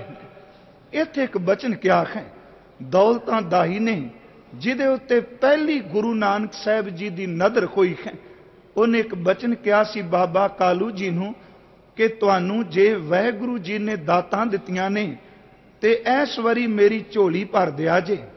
ਸਿਆਲ ਦੇ ਦਿਨ ਨੇ, ਚਾਰ ਮਣ ਦਾਣੇ ਦੇ ਦਿਓ, ਪੇਟ ਭਰ ਕੇ ਬੱਚੇ ਰੋਟੀ ਖਾ ਸਕਣਗੇ। ਕੁਝ ਪੈਸੇ ਦੇ ਦੇਹੀਂ ਤਨ ਢੱਕਣ ਵਾਸਤੇ ਬਸਤਰ ਜਿਹੜੇ ਨੇ ਉਹ ਅਸੀਂ ਖਰੀਦ ਲਵਾਂਗੇ। ਤੇ ਜਦੋਂ ਗੁਰੂ ਨਾਨਕ ਸਾਹਿਬ ਜੀ ਦੀ ਮੁਸਕਰਾਟ ਦੇਖੀ, ਦੌਲਤਾਂ ਦਾਈ ਬਾਹਰ ਆਈ। ਜਦੋਂ ਅੰਦਰ ਪ੍ਰਵੇਸ਼ ਕੀਤਾ ਤੇ ਅੰਦਰ ਭਿਖਾਰੀ ਵਾਲਾ ਸੀ, ਕੰਗਾਲ ਵਾਲਾ ਸੀ, ਤੇ ਬਾਹਰ ਦਿਆਂ ਨਿਕਲਦਿਆਂ ਸਾਰ ਅੰਦਰ ਹੁਣ ਭਿਖਾਰੀ ਵਾਲਾ ਨਹੀਂ, ਅੰਦਰ ਤਾਂ ਇੱਕ ਪਾਤਸ਼ਾਹ ਵਾਲਾ ਬੇਮੁਤਾਜ ਹੋ ਗਿਆ ਹੈ। ਬਾਹਰ ਨਿਕਲਦਿਆਂ ਸਾਰ ਬਾਬਾ ਕਾਲੂ ਜੀ ਨੇ ਇੱਥੇ ਮੈਂ ਇੱਕ ਅਰਜ਼ ਕਰਾਂ ਕਿ ਇਸ ਗੱਲ ਨੂੰ ਸਮਝੀਏ ਕਿ ਗੁਰੂ ਨਾਨਕ ਸਾਹਿਬ ਜੀ ਦੇ ਪਿਤਾ ਜੀ ਦਾ ਵੀ ਜਦੋਂ ਨਾਮ ਲੈਨੇ ਆ ਇਹ ਗੱਲ ਵੱਖਰੀ, ਉਹ ਪਿਤਾ ਨੇ ਪਿਤਾ ਦਾ ਪੁੱਤਰ ਤੇ ਆਪਣਾ ਵੱਖ ਹੀ ਅਧਿਕਾਰ ਹੈ। ਪਰ ਸਾਨੂੰ ਕੋਈ ਅਧਿਕਾਰ ਨਹੀਂ ਕਿ ਗੁਰੂ ਨਾਨਕ ਜੀ ਦੇ ਪਿਤਾ ਜੀ ਲਈ ਆਪਾਂ ਸ਼ਬਦ ਰੁੱਖੇ ਵਰਤੀਏ। ਕਿਉਂਕਿ ਬਾਬਾ ਜੀ ਨੇ ਤੇ ਬਾਣੀ ਵਿੱਚ ਕਿਹਾ ਕਹਿਣ ਲੱਗੇ, ਧੰਨ ਧੰਨ ਪਿਤਾ, ਧੰਨ ਧੰਨ ਕੁੱਲ ਧੰਨ ਧੰਨ ਸੋ ਜਨਨੀ ਜਿਨ ਗੁਰੂ ਜਣਿਆ ਮਾਹਿ। ਧੰਨ ਗੁਰੂ ਨਾਨਕ ਸਾਹਿਬ ਸੱਚੇ ਪਾਤਸ਼ਾਹ ਜੀ ਦੇ ਪਿਤਾ ਜੀ, ਦੌਲਤਾਂ ਦਾਈ ਨੂੰ ਕਹਿੰਦੇ ਨੇ ਕਿ ਕਰ ਝੋਲੀ, ਮੈਂ ਤੇਰੀ ਝੋਲੀ ਵਿੱਚ ਧਨ ਪਾਣਾ ਚਾਹਨਾ ਹਾਂ ਤੇ ਸ਼ਬਦ ਸੀ ਰਹਿਣ ਦਿਓ, ਮੈਂ ਤਾਂ ਬਹੁਤ ਰੱਜੀ। ਮੈਨੂੰ ਕਿਸੇ ਚੀਜ਼ ਦੀ ਕਮੀ ਨਹੀਂ, ਤੁਸੀਂ ਰਹਿਣ ਦਿਓ। ਤੇ ਮੁਸਕਰਾ ਕੇ ਕਹਿਣ ਲੱਗੇ ਕਿ ਜੇ ਥੋੜੇ ਨੇ, ਹੋਰ ਤੁਹਾਨੂੰ ਦੇ ਦੇਾਂਗੇ ਪਰ ਹੁਣ ਤੁਸੀਂ ਇਨਕਾਰ ਨਾ ਕਰੋ। ਕਹਿਣ ਲੱਗੀ, ਅੱਗੇ ਨਾਮ ਦੀ ਦੌਲਤਾਂ ਸਾਂ। ਮਨ ਕਰਕੇ ਤ੍ਰਿਸ਼ਨਾ ਦੀ ਭੁੱਖ ਦੀ ਮਰੀ ਪਈ ਸਾਂ। ਇਹਨਾਂ ਖੱਥਾਂ ਨਾਲ ਅਨੇਕਾਂ ਬੱਚਿਆਂ ਨੇ ਜਨਮ ਲਿਆ। ਪਰ ਮੇਰੀ ਕਿਸੇ ਨੇ ਭੁੱਖ ਨਾ ਦੂਰ ਕੀਤੀ। ਅੱਗੇ ਨਾਂ ਦੀ ਦੌਲਤਾਂ ਮਨ ਦੀ ਭੁੱਖੀ ਸਾਂ। ਅੱਜ ਤੁਹਾਡੇ ਪੁੱਤਰ ਦੇ ਦੀਦਾਰ ਪਾਏ ਨੇ। ਉਹਨਾਂ ਦੀ ਪਹਿਲੀ ਮੁਸਕਰਾਟ ਨੇ ਮੇਰੇ ਜਨਮਾਂ ਜਨਮਾਂਤਰਾਂ ਦੀ ਦਰਿਦਰਤਾ ਖਤਮ ਕਰ ਦਿੱਤੀ। ਪਿਆਰਿਓ, ਹੁਣ ਉੱਥੇ ਉਹ ਬਚਨ, ਉਹ ਵੱਖਰਾ ਹੈ। ਇਹ ਜਿਹੜਾ ਅੰਮ੍ਰਿਤ ਬਚਨ ਅੱਜ ਆਇਆ ਉਹ ਮਨਮੁਖ ਬਿਰਤੀ ਵਾਲੇ ਲੋਕ ਜਿਹੜੇ ਮਾਤਾ ਦੇ ਉਦਰ ਵਿੱਚ ਤਾਂ ਚਿੰਤਨ ਕੀਤਾ, ਜਨਮ ਹੋਇਆ, ਸੰਸਾਰ ਦੀ ਮਾਇਆ ਨੇ ਘੇਰ ਲਿਆ ਤੇ ਇਸ ਮਾਇਆ ਦੇ ਜ਼ਹਿਰ ਨੂੰ ਉਹ ਮਿੱਠਾ ਜਾਣ ਕੇ ਖਾਣ ਲੱਗੇ। ਜਿਸਨ ਕੀਤੋ ਕਰਮ ਆਪ ਪਿਆਰੇ ਤਿਸ ਪੂਰਾ ਗੁਰੂ ਮਿਲਾਇਆ ਜਿਸ ਉੱਪਰ ਮੇਰੇ ਵਾਹਿਗੁਰੂ ਜੀ ਨੇ ਆਪਣਾ ਕਰਮ ਕਰ ਦਿੱਤਾ ਆਪਣੀ ਬਖਸ਼ਿਸ਼ ਕਰ ਦਿੱਤੀ ਜਿਨ੍ਹਾਂ ਉੱਤੇ ਵਾਹਿਗੁਰੂ ਜੀ ਨੇ ਬਖਸ਼ਿਸ਼ ਕੀਤੀ ਉਹਨਾਂ ਨੂੰ ਪ੍ਰਭੂ ਨੇ ਕਿਰਪਾ ਕਰਕੇ ਪੂਰੇ ਸਤਿਗੁਰੂ ਨਾਲ ਮਿਲਾ ਦਿੱਤਾ ਹੈ। ਓ ਅਰਾਧੇ ਸਾਸ ਸਾਸ ਪਿਆਰੇ RAM ਨਾਮ ਲਿਵ ਲਾਇਆ। ਤੇ ਜਿਨ੍ਹਾਂ ਨੂੰ ਸਮਰੱਥ ਸਤਿਗੁਰੂ ਜੀ ਦੀ ਪ੍ਰਾਪਤੀ ਹੋ ਗਈ ਉਹ ਭਾਗਾਂ ਵਾਲੇ ਸਵਾਸ ਸਵਾਸ ਜਿਹੜਾ ਚਿੰਤਨ ਮਾਤਾ ਦੇ ਉਦਰ ਵਿੱਚ ਕਰਦੇ ਸਨ ਹੁਣ ਉਹ ਜਨਮ ਤੋਂ ਬਾਅਦ ਸਵਾਸ ਸਵਾਸ ਪਿਆਰੇ ਪ੍ਰਭੂ ਜੀ ਦੀ ਯਾਦ ਵੀ ਜੁੜਦੇ ਹਨ। ਮਨ ਤਨ ਤੇਰੀ ਟੇਕ ਹੈ ਪਿਆਰੇ। ਮਨ ਤਨ ਤੇਰੀ ਟੇਕ ਧੰਨ ਗੁਰੂ ਪੰਚਮ ਪਾਤਸ਼ਾਹ ਕਿਰਪਾਲੂ ਜੀ, ਇਸ ਅਸ਼ਟਪਦੀ ਦੇ ਰਹਾਉ ਦੇ ਬਚਨਾਂ ਵਿੱਚ ਮੇਰ ਪੈ ਕਰਦੇ ਨੇ ਕਿ ਖੇ ਪਿਆਰੇ ਵਾਹਿਗੁਰੂ ਜੀ, ਸਾਡੇ ਮਨ ਵਿੱਚ, ਸਾਡੇ ਤਨ ਵਿੱਚ ਕੇਵਲ ਤੇਰੀ ਹੀ ਟੇਕ ਹੈ, ਕੇਵਲ ਤੇਰਾ ਹੀ ਆਸਰਾ ਹੈ।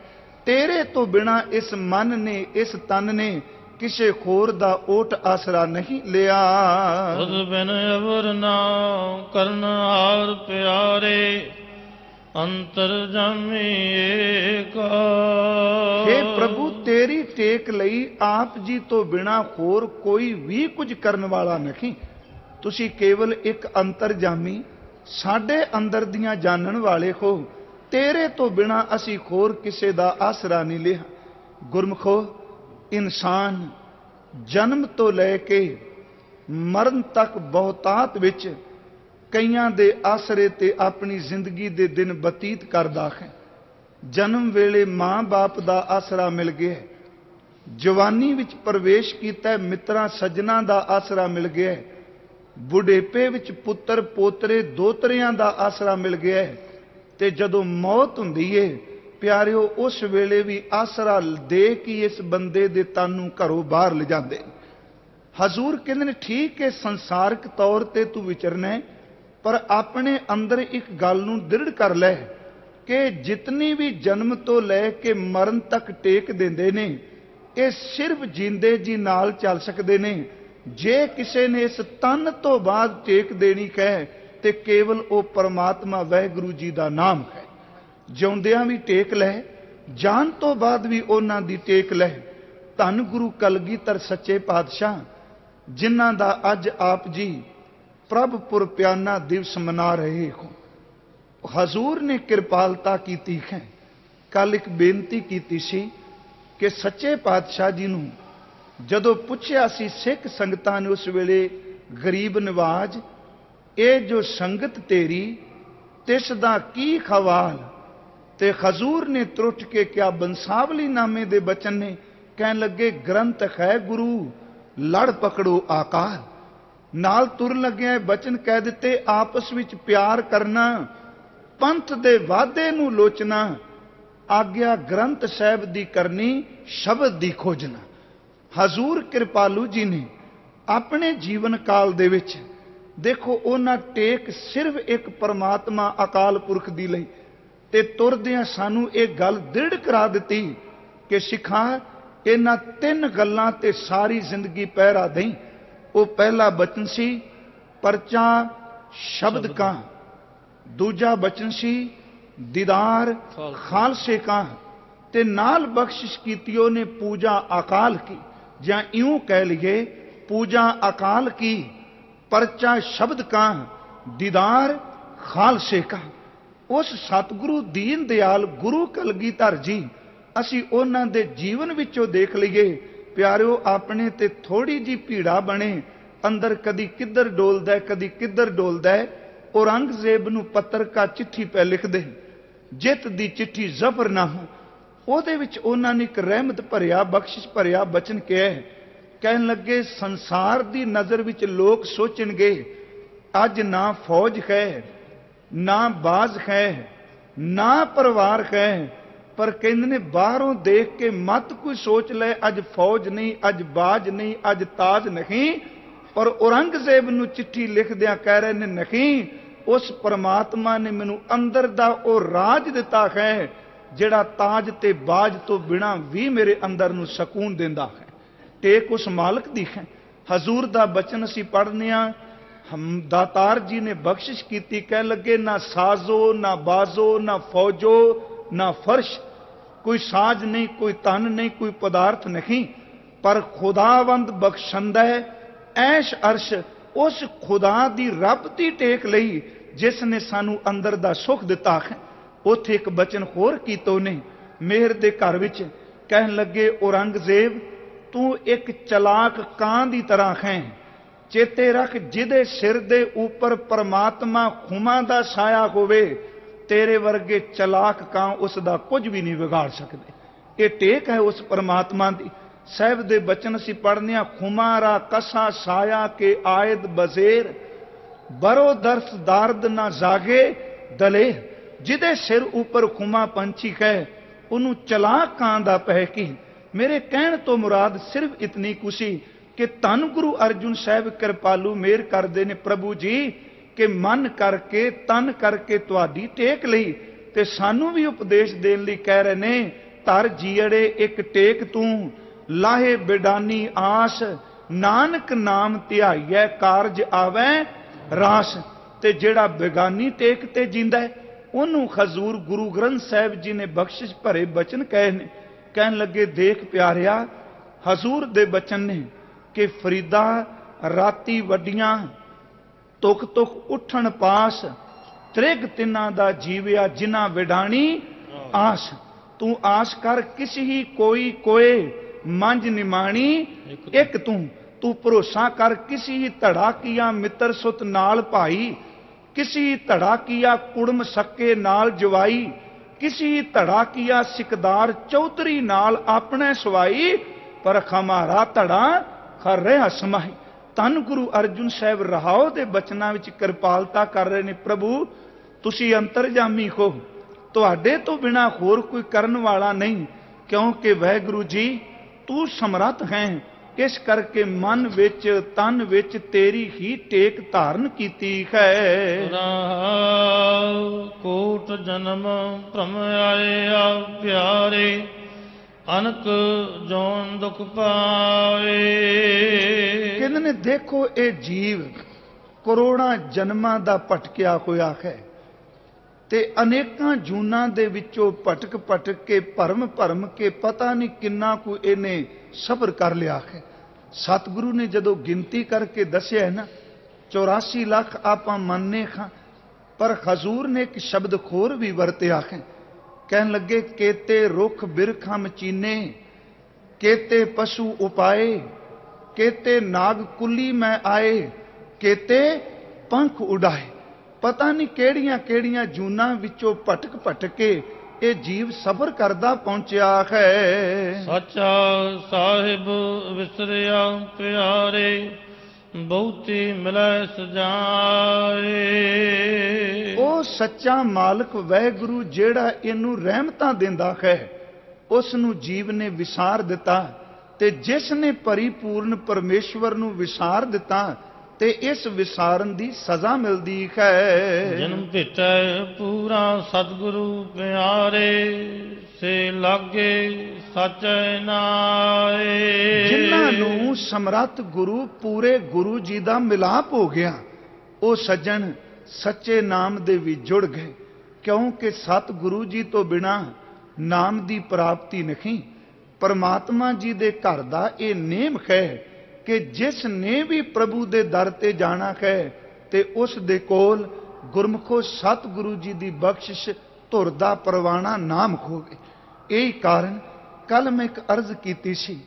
ਗੁਰੂ ਗ੍ਰੰਥ ਸਾਹਿਬ ਜੀ ਦੇ 13 ਅੰਗ ਤੱਕ ਅਸੀਂ ਜਿਹੜੀਆਂ ਬਾਣੀਆਂ ਦਾ ਸਰਲੇਖ ਪੜ੍ਹਨੇ ਹਾਂ, ਪਹਿਲਾਂ ਸਭ ਤੋਂ ਆਉਂਦਾ ਹੈ ਜਪ। ਕਿਵੇਂ ਪ੍ਰਭੂ ਦੇ ਦਰ ਤੇ ਸਵਕਾਰ ਹੋ ਸਕਨੇ ਹਾਂ? ਜਪ ਤੋਂ ਬਾਅਦ ਆਉਂਦਾ ਹੈ ਸੋ ਦਰ। ਸੋ ਦਰ ਤੋਂ ਬਾਅਦ ਤੀਸਰਾ ਤਰ ਸਰਲੇਖ ਆ ਰਿਹਾ ਹੈ, ਸੋ ਪੁਰਖ। ਤੇ ਸੋ ਪੁਰਖ ਤੋਂ ਅੱਗੇ ਆ ਰਿਹਾ ਹੈ ਸੋਹਿਲਾ ਸਾਹਿਬ। ਸੱਚੇ ਪਾਤਸ਼ਾਹ, ਬਾਣੀ ਦੀ ਤਰਤੀਬ ਵਿੱਚ ਵੀ ਸਾਨੂੰ ਜੀਵਨ ਸਮਝਾਉਂਦੇ ਪਏ ਬਖਸ਼ਿਸ਼ ਕਰਦੇ ਨੇ ਕਿ ਤੇਰੀ ਜ਼ਿੰਦਗੀ ਵਿੱਚ ਜੇ ਤੂੰ ਪ੍ਰਭੂ ਦੇ ਸੋਹਲੇ ਗਾਣੇ ਚਾਹਨੇ, ਜੇ ਤੂੰ ਸੋ ਦਰ ਤੇ ਪਹੁੰਚਣਾ ਚਾਹਨੇ, ਪਹਿਲੀ ਗੱਲ ਤੇਰੇ ਕੋਲ ਜਪ ਹੋਵੇ ਤੇ ਜਪ ਕੇਵਲ ਉਹਨਾਂ ਨੂੰ ਮਿਲਦਾ ਹੈ ਜਿਨ੍ਹਾਂ ਨੂੰ ਪਹਿਲਾਂ ਗੁਰ ਪ੍ਰਸਾਦ ਮਿਲਿਆ ਹੋਵੇ। ਗੁਰ ਪ੍ਰਸਾਦ ਤੋਂ ਬਾਅਦ ਜਪ ਹੈ ਗੁਰ ਪ੍ਰਸਾਦ ਹੋਵੇਗਾ, ਗੁਰੂ ਦੀ ਕਿਰਪਾ ਨਾਲ ਹੀ ਜਪ ਮਿਲੇਗਾ। ਤੇ ਜਿਸ ਨੇ ਜਪ ਕੀਤਾ, ਉਹ ਸੋ ਦਰ ਦਾ ਸੁਰ ਦਰ ਤੇ ਪਹੁੰਚੇਗਾ। ਤੇ ਜਿਹੜਾ ਸੋ ਦਰ ਤੇ ਪਹੁੰਚ ਗਿਆ ਉਸ ਨੂੰ ਸੋ ਪੁਰਖ ਜੀ ਮਿਲਣਗੇ। ਤੇ ਜਿਸ ਨੂੰ ਸੋ ਪੁਰਖ ਜੀ ਮਿਲ ਗਏ, ਉਹ ਸੋ ਪੁਰਖ ਦੇ ਸੋਹਲੇ ਗਾਉਣ ਲੱਗ ਪਵੇਗਾ। ਸੱਚੇ ਪਾਤਸ਼ਾਹ ਮੇਰ ਪੈ ਕਰਦੇ ਨੇ। ਕਿ ਦੇਖੋ ਜਿਸ ਨੂੰ ਪੂਰਾ ਗੁਰੂ ਮਿਲ ਗਿਆ ਉਸ ਨੇ ਪਰਿਪੂਰਨ ਪਰਮਾਤਮਾ ਦੇ ਨਾਮ ਨੂੰ ਜਪਿਆ ਹੈ। ਮਿੱਠਾ ਕਰਕੇ ਖਾਇਆ ਪਿਆਰੇ ਤਿਨ ਤਨ ਕੀਤਾ ਰੋਗਾ। ਜਿਨ੍ਹਾਂ ਦੁਨੀਆ ਦੇ ਪਦਾਰਥਾਂ ਨੂੰ ਮਨੁੱਖ ਮਿੱਠਿਆਂ ਕਰਕੇ ਸਵਾਦੀ ਕਰਕੇ ਖਾਂਦਾ ਹੈ ਕਹਿੰਦਾ ਇਹਦੇ ਵਿੱਚ ਰਸ ਬੜਾ ਹੈ। ਤੇ ਉਸ ਮਿੱਠੇ ਨੇ ਕੁਝ ਘੜੀਆਂ ਤਾਂ ਜੀਵ ਨੂੰ ਰਸ ਦੇ ਦਿੱਤਾ, ਪਰ ਪਰਤ ਕੇ ਅਸਰ ਇਹੋ ਜਿਹਾ ਕੀਤਾ ਕਿ ਮਿੱਠਾ ਖਾਣ ਵਾਲੇ ਦੇ ਤਨ ਦੇ ਵਿੱਚੋਂ ਰੋਗ ਉਪਜ ਆਏ। ਹੁਣ ਇੱਥੇ ਮਿੱਠੇ ਦਾ ਅਰਥ ਕੇਵਲ ਖੰਡ, ਗੁੜ, ਸ਼ੱਕਰ, ਸ਼ੂਗਰ ਨਹੀਂ। ਮਿੱਠੇ ਤੋਂ ਭਾਵ ਹੈ ਕਿ ਉਹ ਵਿਖੇ ਉਹ ਵਕਾਰ ਜਿਨ੍ਹਾਂ ਨੂੰ ਤੂੰ ਰਸਦਾਇਕ ਜਾਣ ਕੇ ਭੋਗ ਦਿਆ ਰਿਹਾ ਹੈ। ਤੇ ਇਹਨਾਂ ਮਿੱਠੇ ਵਕਾਰਾਂ ਨੇ ਤੇਰੇ ਅੰਦਰ ਰੋਗ ਨੂੰ ਜਨਮ ਦੇ ਦਿੱਤਾ। ਹੈ ਸਤਿਗੁਰੂ ਜੀ ਨੇ ਇੱਕ ਉਦਾਹਰਨ ਅੰਮ੍ਰਿਤ ਬਾਣੀ ਵਿੱਚ ਬਖਸ਼ਿਸ਼ ਕੀਤੀ ਹੈ ਕਿ ਮਿੱਠੇ ਪਿੱਛੇ ਕਿੰਨੀ ਕੁ ਖੁਵਾਰੀ ਹੈ। ਤੇ ਉਦਾਹਰਨ ਦਾ ਕੇਵਲ ਇੱਕ ਪੱਖ ਆਪਾਂ ਲੈਨੇ ਧੰਨ ਗੁਰੂ ਨਾਨਕ ਸਾਹਿਬ ਕਿਰਪਾਲੂ ਜੀ ਮਿਹਰ ਕਰਦੇ ਨੇ, ਕਹਿੰਦੇ ਨੇ ਗੰਨੇ ਦੇ ਵਿੱਚ ਰਸ ਭਰਿਆ ਤੇ ਉਹਦੇ ਹਰ ਇੱਕ ਗੰਢ ਦੇ ਉੱਪਰ ਇੱਕ ਇੱਕ ਅੱਖ ਪੈਦਾ ਹੋ ਗਈ। ਜਦੋਂ ਰਸ ਭਰਿਆ ਤੇ ਨਾਲ ਉਹ ਵਿੱਚੋਂ ਅੱਖਾਂ ਵੀ ਕੱਢ ਰਿਹਾ ਹੈ। ਕਹਿੰਦੇ ਨੇ, ਆਪਣੇ ਇਸ ਮਿੱਠੇ ਦਾ ਇੰਨਾ ਮਾਣ ਕਿਉਂ? ਕਹਿੰਦੇ ਨੇ, ਦੇਖ, ਇਸ ਮਿੱਠੇ ਦਾ ਮਾਣ ਕਰਨ ਵਾਲੇ ਗਲਨੇ ਨੂੰ ਇਹਨੂੰ ਪੈਰਾਂ ਤੋਂ ਕੱਟ ਲਿਆ ਗਿਆ। ਕੱਟ ਕੇ ਇਹਦੇ ਟੁਕੜੇ ਕੀਤੇ ਗਏ, ਇਹਦੀਆਂ ਪੰਡਾਂ ਗੱਠਾਂ ਬਣੀਆਂ ਪਰਤ ਕੇ ਵੇਲਣੇ ਵਿੱਚ ਰੱਖ ਕੇ ਇਹਨੂੰ ਪੀੜ ਦਿੱਤਾ ਗਿਆ ਤੇ ਇਸ ਮਿੱਠੇ ਦੀ ਖਾਤਰ ਪੀੜਿਆ ਗਿਆ। ਪੀੜਨ ਤੋਂ ਬਾਅਦ ਕੜਾਏ ਵਿੱਚ ਪਾ ਕੇ ਇਹਨੂੰ ਤਪਾਣ ਲੱਗੇ ਤੇ ਤਪਾਇਆ ਵੀ ਕਿਸੇ ਹੋਰ ਨਾਲ ਨਹੀਂ, ਰਸ ਕੜਾਏ ਵਿੱਚ ਪਿਆ ਹੈ ਤੇ ਜਿਹੜਾ ਇਹਦਾ ਛਿਲਕਾ ਸੀ, ਪੱਛੀਆਂ ਸਨ, ਉਹਦੇ ਨਾਲ ਇਹਦੇ ਥੱਲੇ ਅੱਗ ਬਾਲ ਦਿੱਤੀ। ਇਹਦਾ ਆਪਾ ਹੀ ਇਹਦੀ ਖੁਆਰੀ ਬਣ ਗਿਆ। ਮਿੱਠਾ ਕੜਾਏ ਵਿੱਚ ਤਪਦਾ ਹੈ ਤੇ ਛਿਲਕਾ ਅੱਗ ਬਣ ਕੇ ਬਲਦਾ ਹੈ ਤੇ ਜਦੋਂ ਕਿਤੇ ਗੁੜ ਬਣਦਾ ਤੇ ਨਿੱਕੇ ਨਿੱਕੇ ਬੁਲਬੁਲੇ ਉਹਦੇ ਵਿੱਚੋਂ ਨਿਕਲਦੇ ਕਈ ਵਾਰੀ ਆਵਾਜ਼ ਵੀ ਸੁਣਾਈ ਦਿੰਦੀ ਹਜ਼ੂਰ ਕਹਿੰਦੇ ਨੇ ਕੜਾਏ ਵਿੱਚ ਤਪਦੇ ਹੋਏ ਉਸ ਰਸ ਨੂੰ ਪੁੱਛੋ ਉਹ ਮਾਨੂੰ ਆਵਾਜ਼ਾਂ ਮਾਰ ਕੇ ਕਹਿ ਰਿਹਾ, ਲੰਘਣ ਵਾਲੇ ਲੋਗੋ, ਦੇਖੋ ਮੈਂ ਮਿੱਠੇ ਦਾ 6 ਮਹੀਨੇ ਮਾਨ ਕੀਤਾ, ਮੇਰੇ ਨਾਲ ਇਹ ਭਾਣੇ ਵਾਪਰੇ ਤੇ ਜਿਹੜੇ ਦਿਨ ਰਾਤ ਭੋਗ ਭੋਗਦੇ ਪਏ ਨੇ ਮਿੱਠੇ, ਉਹਨਾਂ ਲੋਕਾਂ ਨਾਲ ਕੀ ਬੀਤੇ? ਸਤਿਗੁਰੂ ਨੇ ਬਖਸ਼ਿਸ਼ ਕੀਤੀ, ਵੇਖ ਜੇ ਮਿੱਠਾ ਕਟਿਆ ਕਟ ਕੁਟ ਬੱਧਾ ਪਾਏ, ਖੁੰਡਾਂ ਅੰਦਰ ਰੱਖ ਕੇ ਦੇਨ ਸੋ ਮਲ ਸਜਾਏ ਰਸ ਕਸ ਟੱਟਰ ਪਾਈਐ, ਤਪੈ ਤੈ ਵਿਲ ਲਾਏ ਪੀਸੋ ਫੋਗ ਸੰਭਾਲੀਐ, ਦੀਚੈ, ਅੱਗ ਜਲਾਏ। ਕਹਿਣ ਲੱਗੇ, ਵੇਖੋ ਉਸ ਨੂੰ ਅੱਗ ਵਿੱਚ ਰੱਖ ਕੇ ਫੂਕ ਦਿੱਤਾ ਗਿਆ। ਇਸ ਨੇ ਮਿੱਠੇ ਨੇ ਖਵਾਰੀ ਕਰ ਦਿੱਤੀ। ਹਜ਼ੂਰ ਮੇਰ ਪੈ ਕਰਦੇ ਨੇ, ਜਿਹੜੇ ਪਦਾਰਥ ਤੂੰ ਮਿੱਠੇ ਕਰਕੇ ਖਾਣਾ, ਪਿਆਰਿਆ, ਦੇਖੀ ਖਿਨਮੈ, ਕੌੜੇ ਹੋਏ ਗਏ, ਜਿਤੜੇ ਮਾਇਆ ਭੋਗ। ਕਿਉਂਕਿ ਖਸਮ ਵਿਸਾਰ ਕੀਏ ਰਸ ਭੋਗ, ਤਾਂ ਤਨ ਉਠ ਖਲੋਏ ਰੋਗ। ਮਿੱਠਾ ਕਰਕੇ ਖਾਦਾ ਤੇ ਇਸ ਮਿੱਠੇ ਨੇ ਤਨ ਵਿੱਚ ਰੋਗ ਪੈਦਾ ਕੀਤਾ ਹੈ। ਕੌੜਾ ਹੋਏ ਪੁੱਤਸਟਿਆਂ ਪਿਆਰੇ ਤਿਸ ਤੇ ਉਪਜਿਆ ਸੋਗਾ। ਮਿੱਠਾ ਕਰਕੇ ਖਾਇਆ ਉਹਦੇ ਵਿੱਚੋਂ ਰੋਗ ਨਿਕਲਿਆ ਰੋਗ ਪੈਦਾ ਹੋਇਆ। ਤੇ ਹੁਣ ਇੱਥੇ ਫਿਰ ਉਹ ਜਿਹੜਾ ਮਿੱਠਾ ਸੀ ਇਹ ਬਾਹਰ ਪ੍ਰਗਟ ਵੀ ਹੋਇਆ। ਗੁਰਮੁਖ ਪਿਆਰੇ ਦੇ ਅਰਥ ਇਹ ਵੀ ਕਰਦੇ ਨੇ ਕਿ ਉਹ ਮਿੱਠਾ ਅੰਦਰ ਟਿਕ ਗਿਆ। ਪਰ ਹਕੀਕਤ ਵਿੱਚ ਜਿਹੜੀ ਚੀਜ਼ ਖਾਦੀ ਹੈ, ਉਹਨੇ ਬਾਹਰ ਹੀ ਨਿਕਲਣਾ ਹੈ।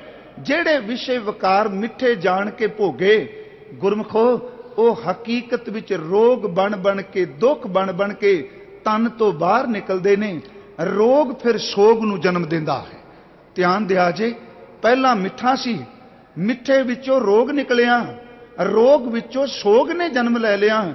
ਤੇ ਇਸ ਸੋਗ ਦੀ ਖੇਡ ਇੱਕ ਜਨਮ ਦੀ ਨਹੀਂ ਜਿਹੜੇ ਵਿਸ਼ੇ ਭੋਗਦੇ ਨੇ ਪਿਆਰਿਓ ਇਹ ਸੋਗ ਪਤਾ ਨੂੰ ਕਿੰਨੇ ਕੁ ਜਨਮ ਨਾਲ ਤੁਰਦਾ।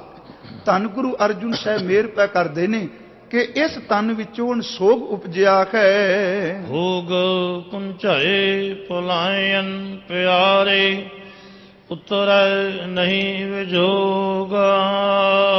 ਫਿਰ ਦੇਖੋ ਸ਼ੁਕਰ ਵਿੱਚ ਜੁੜ ਗਏ।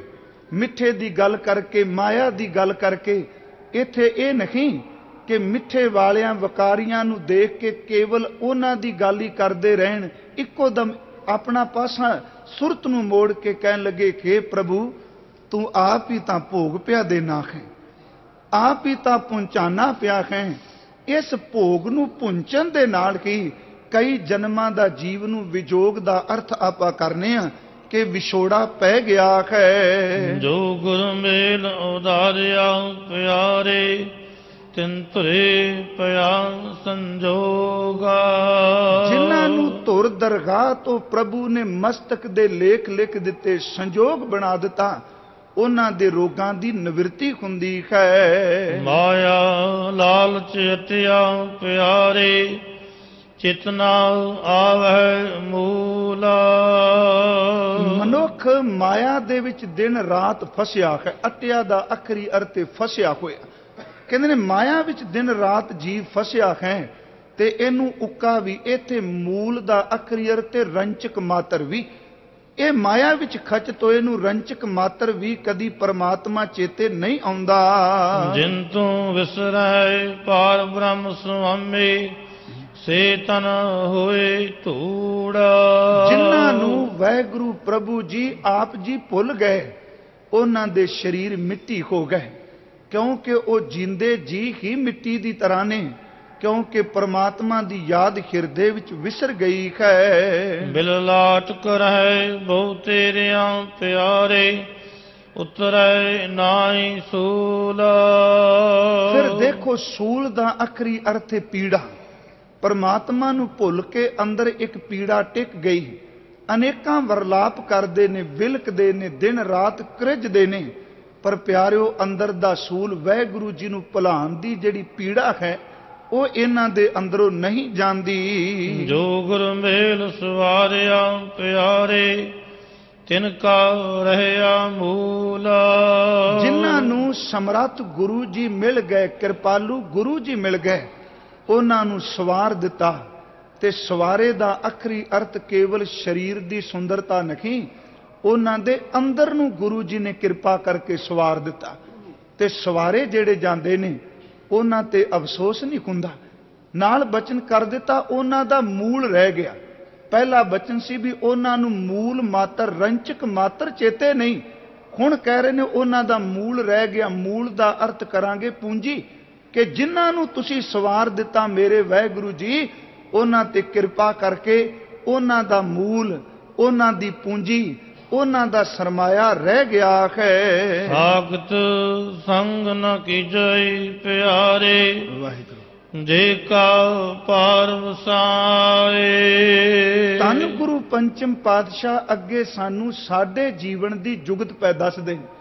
ਕਹਿੰਦੇ ਨੇ ਜੇ ਤੂੰ ਪਰਮਾਰਥ ਕਮਾਣਾ ਚਾਹਨਾ ਜੇ ਕਾ ਪਾਰ ਵਸਾਏ ਤੋਂ ਭਾਵ ਜਿੰਨਾ ਕੁ ਵਸ ਚੱਲੇ ਜਿੰਨਾ ਕੁ ਤੂੰ ਕਰ ਸਕਣਾ ਹੈ, ਕਰੀ ਮਹਾਰਾਜ ਕੀ? ਕਹਿਣ ਲੱਗੇ, ਸਾਖਤ ਬੰਦਿਆਂ ਦੇ ਨੇੜੇ ਕਦੀ ਭੁੱਲ ਕੇ ਵੀ ਨਾ ਜਾਏ। ਗੁਰਮਖੋ, ਆਪ ਅੰਮ੍ਰਿਤ ਬਾਣੀ ਪੜ੍ਹ ਦੇਖੋ। ਗੁਰੂ ਗ੍ਰੰਥ ਸਾਹਿਬ ਦੀ ਬਾਣੀ ਸਾਖਤ ਕਿਹੜਾ ਹੈ, ਜਿਹੜਾ ਹਕੀਕਤ ਵਿੱਚ ਆਪਣੇ ਅੰਦਰੋਂ ਪਰਮਾਤਮਾ ਨਾਲੋਂ ਟੁੱਟ ਚੁੱਕਾ ਹੈ? ਹੁਣ ਉਹ ਸਾਖਤ ਦੀ ਬਿਰਤੀ ਕੀ ਹੈ? ਕਿ ਇੱਕ ਬੰਦਾ ਅਜੇ ਗੁਰੂ ਵਾਲਾ ਨਹੀਂ ਬਣਿਆ, ਪਰ ਰੋਜ਼ ਗੁਰੂ ਸੰਗਤ ਵਿੱਚ ਆਉਂਦਾ ਹੈ, ਬਾਣੀ ਪੜ੍ਹਦਾ ਆਪਾਂ ਉਹਦੇ ਲਈ ਸਾਖਤ ਸ਼ਬਦ ਨਹੀਂ ਵਰਤ ਸਕਾਂਗੇ। ਗੁਰਮਖੋ ਉਹ ਚੱਲਦਾ ਪਿਆ ਹੈ। ਪਤਾ ਨਹੀਂ ਕਿਦਣ ਰਹਿਮਤ ਦਾ ਮੀਂਹ ਉਹਦੇ ਤੇ ਵਰਸ ਜਾਣਾ ਹੈ। ਸਾਖਤ ਕੌਣ ਹੈ? ਕਬੀਰ ਸਾਹਿਬ ਦੇ ਅੰਮ੍ਰਿਤ ਬਚਨ ਅਸੀਂ ਪੜ੍ਹਨੇ ਹਾਂ। ਉਸ ਮਹਾਪੁਰਸ਼ ਨੇ ਪਰਿਵਾਰ ਦਾ ਮੁਕਾਬਲਾ ਵੀ ਕੀਤਾ ਕਿਉਂਕਿ ਪਰਿਵਾਰ ਨੇ ਵਿਰੋਧ ਕੀਤਾ ਤੇ ਉਹ ਸਾਹਮਣੇ ਅਸੀਂ ਬਾਣੀ ਵਿੱਚੋਂ ਪੜ੍ਹਨੇ ਆ ਮੁਸ ਮੁਸ ਰੋਵੈ ਕਬੀਰ ਕੀ ਮਾਈ। ਇਹਦਾ ਮਤਲਬ ਕਿ ਘਰ ਵਿੱਚ ਕਲੇਸ਼ ਸੀ। ਦੂਸਰੇ ਪਾਸੇ ਹਕੂਮਤ ਨੇ ਵੀ ਘਟ ਕੀਤੀ। ਉਹਨਾਂ ਬਾਣੀ ਵਿੱਚ ਬੈਲ ਬਚਨ ਕਰ ਦਿੱਤੇ ਪੂਜਾ ਬਾਂਧ, ਭਿਲਾ ਕਰ ਡਾਰਿਓ, ਖਸਤੀ ਕਰੋਪ, ਮੂੰਡ ਮੈਂ ਮਾਰਿਓ। ਇਤੋਂ ਤੱਕ ਤਸ਼ੱਦਦ ਕੀਤਾ ਕਿ ਗੰਗ, ਗੁਸਾਇਣ, ਗੈਰ ਗੰਭੀਰ, ਜੰਜੀਰ ਬਾਂਧ ਕਰ ਖਰੇ ਕਬੀਰ। ਪਰਿਵਾਰ ਨੇ ਵਿਰੋਧ ਕੀਤਾ, ਡਟ ਗਏ। ਸੰਸਾਰ ਦੀ ਹਕੂਮਤ ਨੇ ਵਿਰੋਧ ਕੀਤਾ, ਨਿਤੜਕ ਹੋ ਕੇ ਕਿਹਾ, ਮਨ ਨਾ ਡਿਗੈ, ਤਨ ਕਾਹੇ ਕੋ ਡਰਾਏ। ਜੇ ਜਾਤ ਅਬਮਾਨੀਆਂ ਨੇ ਵਿਰੋਧ ਕੀਤਾ ਤੇ ਸਪਸ਼ਟ ਬਚਨ ਕਹਿ ਦਿੱਤੇ ਕਿ ਗਰਭਵਾਸ ਮੈਂ ਕੁਲ ਨਹੀਂ ਜਾਤੀ, ਬ੍ਰਹਮ ਬਿੰਦ ਤੇ ਸਭ ਉਤਪਾਤੀ। ਪਰ ਗੁਰਮਖੋ, ਜਦੋਂ ਸਾਖਤ ਦੀ ਗੱਲ ਆਈ, ਹਕੂਮਤ ਸਾਹਮਣੇ ਖਲੋਣ ਵਾਲੇ, ਪਰਿਵਾਰ ਦੀਆਂ ਉਲਝਣਾਂ ਨੂੰ ਸਹਾਰਨ ਵਾਲੇ, ਜਦੋਂ ਰੱਬ ਤੋਂ ਟੁੱਟੇ ਹੋਏ ਤਰਕ ਕਰਨ ਵਾਲੇ ਦੀ ਗੱਲ ਆਈ, ਕਹਿਣ ਲੱਗੇ, ਇੱਕ ਗੱਲ ਜ਼ਿੰਦਗੀ 'ਚ ਚੇਤੇ ਰੱਖੀ, ਰੱਬ ਤੋਂ ਟੁੱਟੇ ਹੋਏ ਦੀ ਸੰਗਤ ਕਦੀ ਨਾ ਕਰੀ, ਤੇ ਉਹਨਾਂ ਨੇ ਸ਼ਬਦ ਵਰਤੇ ਨੇ। ਕਹਿਣ ਲੱਗੇ ਖਰਜ ਸੁਨੈ ਨਾ ਹਰ ਗੁਣ ਗਾਵੇਂ ਬਾਤਨ ਹੀ ਅਸਮਾਨ ਗਿਰਾਵੇਂ। ਐਸੇ ਲੋਗਨ ਸਿਉ ਕਿਆ ਕਹੀਏ ਜੋ ਪ੍ਰਭ ਕੀਏ ਭਗਤ ਤੇ ਬਾਜ ਤਿੰਨ ਤੇ ਸਦਾ ਡਰਾਨੇ ਰਹੀਏ ਕਿਸੇ ਤੋਂ ਨਹੀਂ ਡਰੇ। ਕਹਿਣ ਲੱਗੇ ਤੇਰੇ ਅੰਦਰ ਨੂੰ ਖੁਆਰ ਕਰੇਗਾ ਮਹਾਰਾਜ ਕਿਉਂ? ਹੁਣ ਦੇਖੋ ਸਾਖਤ ਬਿਰਤੀ ਹੁੰਦੀ ਹੈ ਕਿ ਕਿਸੇ ਜੁੜੇ ਹੋਏ ਨੂੰ ਅਨੇਕਾਂ ਆਪਣੇ ਢੰਗਾਂ ਨਾਲ ਤੋੜਨ ਦਾ ਯਤਨ ਕਰਨਾ। ਗੁਰਮਖੋ ਸੰਗਤ ਉਹਦੀ ਕਰੋ। ਜਿਹੜਾ ਗੁਰੂ ਗ੍ਰੰਥ ਸਾਹਿਬ ਜੀ ਦੀ ਬਾਣੀ ਤੇ ਭਾਵਨਾ ਬਣਾਉਂਦਾ ਹੋਵੇ, ਮੈਂ ਇੱਕ ਅਰਜ਼ ਕਰਾਂ, ਬੈਠੇ ਨੇ ਸਾਡੀ ਕੌਮ ਦੇ ਮਹਾਨ ਆਗੂ, ਅੱਜ ਕਲਮ ਚੱਲਦੀ ਏ। ਉਹ ਬਜਾਏ ਕਿ ਧੰਨ ਗੁਰੂ ਗ੍ਰੰਥ ਸਾਹਿਬ ਜੀ ਦੀ ਉਪਮਾ ਕਰਨ ਦੇ, ਉਹ ਧੰਨ ਗੁਰੂ ਗ੍ਰੰਥ ਸਾਹਿਬ ਜੀ ਦੇ ਸਿਧਾਂਤ ਉੱਤੇ ਹੀ ਤਰਕ ਕੁਤਰਕ ਕਰਨ ਲੱਗ ਪੈਂਦੇ ਨੇ। ਮੇਰੇ ਸਤਿਗੁਰੂ ਦੇ ਬਚਨ ਕੱਲ ਮੈਂ ਸਾਂਝੇ ਕੀਤੇ ਸਨ। ਉਸ ਕਲਮ ਨੂੰ ਨਮਸਕਾਰ ਜਿਸ ਕਲਮ ਵਿੱਚੋਂ ਪਰਮਾਤਮਾ ਦੀ ਸਿਫਤ ਸਲਾਹ ਤੇ ਗੁਰੂ ਨਾਲ ਜੁੜਨ ਦੀ ਗੱਲ ਮਿਲਦੀ ਹੋਵੇ, ਉਹ ਕਲਮ, ਉਹ ਸ਼ਾਈ ਉਹ ਕਾਗਜ਼ ਸੜ ਕਿਉਂ ਨਾ ਗਿਆ, ਜਿਹੜੇ ਹੱਥ ਨੇ ਅੰਦਰ ਚੀਰ ਚੀਰ ਕੇ ਦੁਬਾਰਾ ਖੜੀਆਂ ਕਰ ਦਿੱਤੀਆਂ। ਨਹੀਂ, ਗੁਰਮਖੋ, ਇਹ ਵੀ ਇੱਕ ਸਾਖਤ ਬਿਰਤੀ ਹੈ। ਸਾਹਿਬ ਕਹਿੰਦੇ ਨੇ, ਇਹੋ ਜਿਹਾ ਲੋਕਾਂ ਤੋਂ ਦੂਰ ਰਹੀ ਤੇ ਦੇਖੋ, ਜੇ ਅਸੀਂ ਕਹੀਏ, ਨਹੀਂ ਜੀ, ਅਸੀਂ ਤੇ ਵਿਚਾਰ ਕਰਨ ਚੱਲੇ ਆਂ। ਸੱਚੇ ਪਾਤਸ਼ਾਹ ਕਹਿੰਦੇ ਨੇ, ਕੀ ਵਿਚਾਰ ਕਰੇਗਾ? ਕਾਲੇ ਭਾਂਡਿਆਂ ਨੂੰ ਚੁੱਕ ਕੇ ਚਿੱਟੇ ਕੱਪੜੇ ਪਾ ਕੇ ਤੁਰਨ ਵਾਲਿਆ ਜਿੰਨਾ ਮਰਜ਼ੀ ਬਚਾ ਲਈ, ਕਿਤੇ ਨਾ ਕਿਤੇ ਉਹਨੇ ਤੇਰੇ ਉੱਤੇ ਕਾਲ ਖਲਾ ਹੀ ਦੇਣੀ। ਬਚਨ ਕੀਤਾ ਕਹਿਣ ਲੱਗੇ, ਕਬੀਰ, ਸਾਖਤ ਸੰਗ ਨਾ ਕੀਜੀਐ, ਦੂਰੈ ਜਾਈਐ, ਭਾਗ। ਮਹਾਰਾਜ, ਦੂਰ ਕਿਉਂ ਭੱਜੀਏ? ਕਹਿਣ ਲੱਗੇ ਬਾਸਨ ਕਾਰੋ ਪਰਸੀਐ, ਤਉ ਕਿਛ ਲਾਗੈ ਦਾਗ ਤਾਂ ਹੀ ਬਖਸ਼ਿਸ਼ ਕੀਤੀ ਉਹਨੇ, ਕਹਿਣ ਲੱਗੇ, ਦੇਖੀ, ਸਾਖਤ ਦੇ ਨੇੜੇ ਰਹਿਣਾ ਵੀ ਖੁਆਰੀ ਹੈ ਕਿਉਂਕਿ ਕੇਲੇ ਦੇ ਪੱਤੇ ਤਾਂ ਕੋਮਲ ਨੇ, ਪਰ ਬਦ ਕਿਸਮਤ ਬੇਰੀ ਦੇ ਨੁਕੀਲੇ ਕੰਡੇ ਜਿਹੜੇ ਨੇ, ਉਹ ਕੇਲੇ ਦੇ ਪੱਤਿਆਂ ਨੂੰ ਚੀਰ-ਚੀਰ ਕੇ ਖਵਾਰ ਕਰਦੇ ਨੇ। ਕਸੂਰ ਇੰਨਾ ਕਿ ਕੇਲਾ ਬੇਰੀ ਦੇ ਨੇੜੇ ਪੈਦਾ ਹੋ ਗਿਆ। ਸਾਖਤ ਦੀ ਸੰਗ ਨਾ ਕਰੀ। ਹਜ਼ੂਰ ਨੇ ਬਖਸ਼ਿਸ਼ ਕੀਤੀ, ਮਾਰੀ ਮਰੂ ਕੋ ਸੰਗ ਕੀ? ਕੇਲੇ ਨਿਕਟ ਜੋ ਬੇਰ ਸਾਕਤ ਤੇ ਅਸਰ ਹੀ ਕੋਈ ਨਹੀਂ ਨਾ ਤਾਂ ਉਹਨਾਂ ਬਾਣੀ ਪੜਨੀ ਨਾ ਸਿਮਰਨ ਕਰਨਾ, ਨਾ ਭਾਵਨਾ ਬਣਾਣੀ ਉਹ ਝੂਲੇ। ਉਹ ਚੀਰੀਐ ਤੇ ਬਾਪੂ ਜੀ ਕਹਿੰਦੇ ਨੇ ਸਾਖਤ ਸੰਗ ਨਾ ਖੇ ਜਿਹੜੇ ਸਾਖਤ ਬੰਦੇ ਨੇ ਗੁਰੂ ਅਰਜੁਨ ਸਾਹਿਬ ਕਹਿੰਦੇ ਨੇ ਗੁਰਸਿੱਖਾਂ ਤੂੰ ਜ਼ਿੰਦਗੀ ਕਮਾਣੀ ਹੈ ਸਾਖਤਾਂ ਦੀ ਸੰਗਤ ਵਿੱਚ ਭੁੱਲ ਕੇ ਵੀ ਨਾ ਜਾਈ। ਜਿਸ ਮਿਲ ਆਏ ਹਰ ਵਿਸਰੈ। ਪਿਆਰੇ। ਵਾਹਿਗੁਰੂ। ਸੋ ਮੋਹਿ ਕਾਲੈ ਉਠ ਜਾਏ।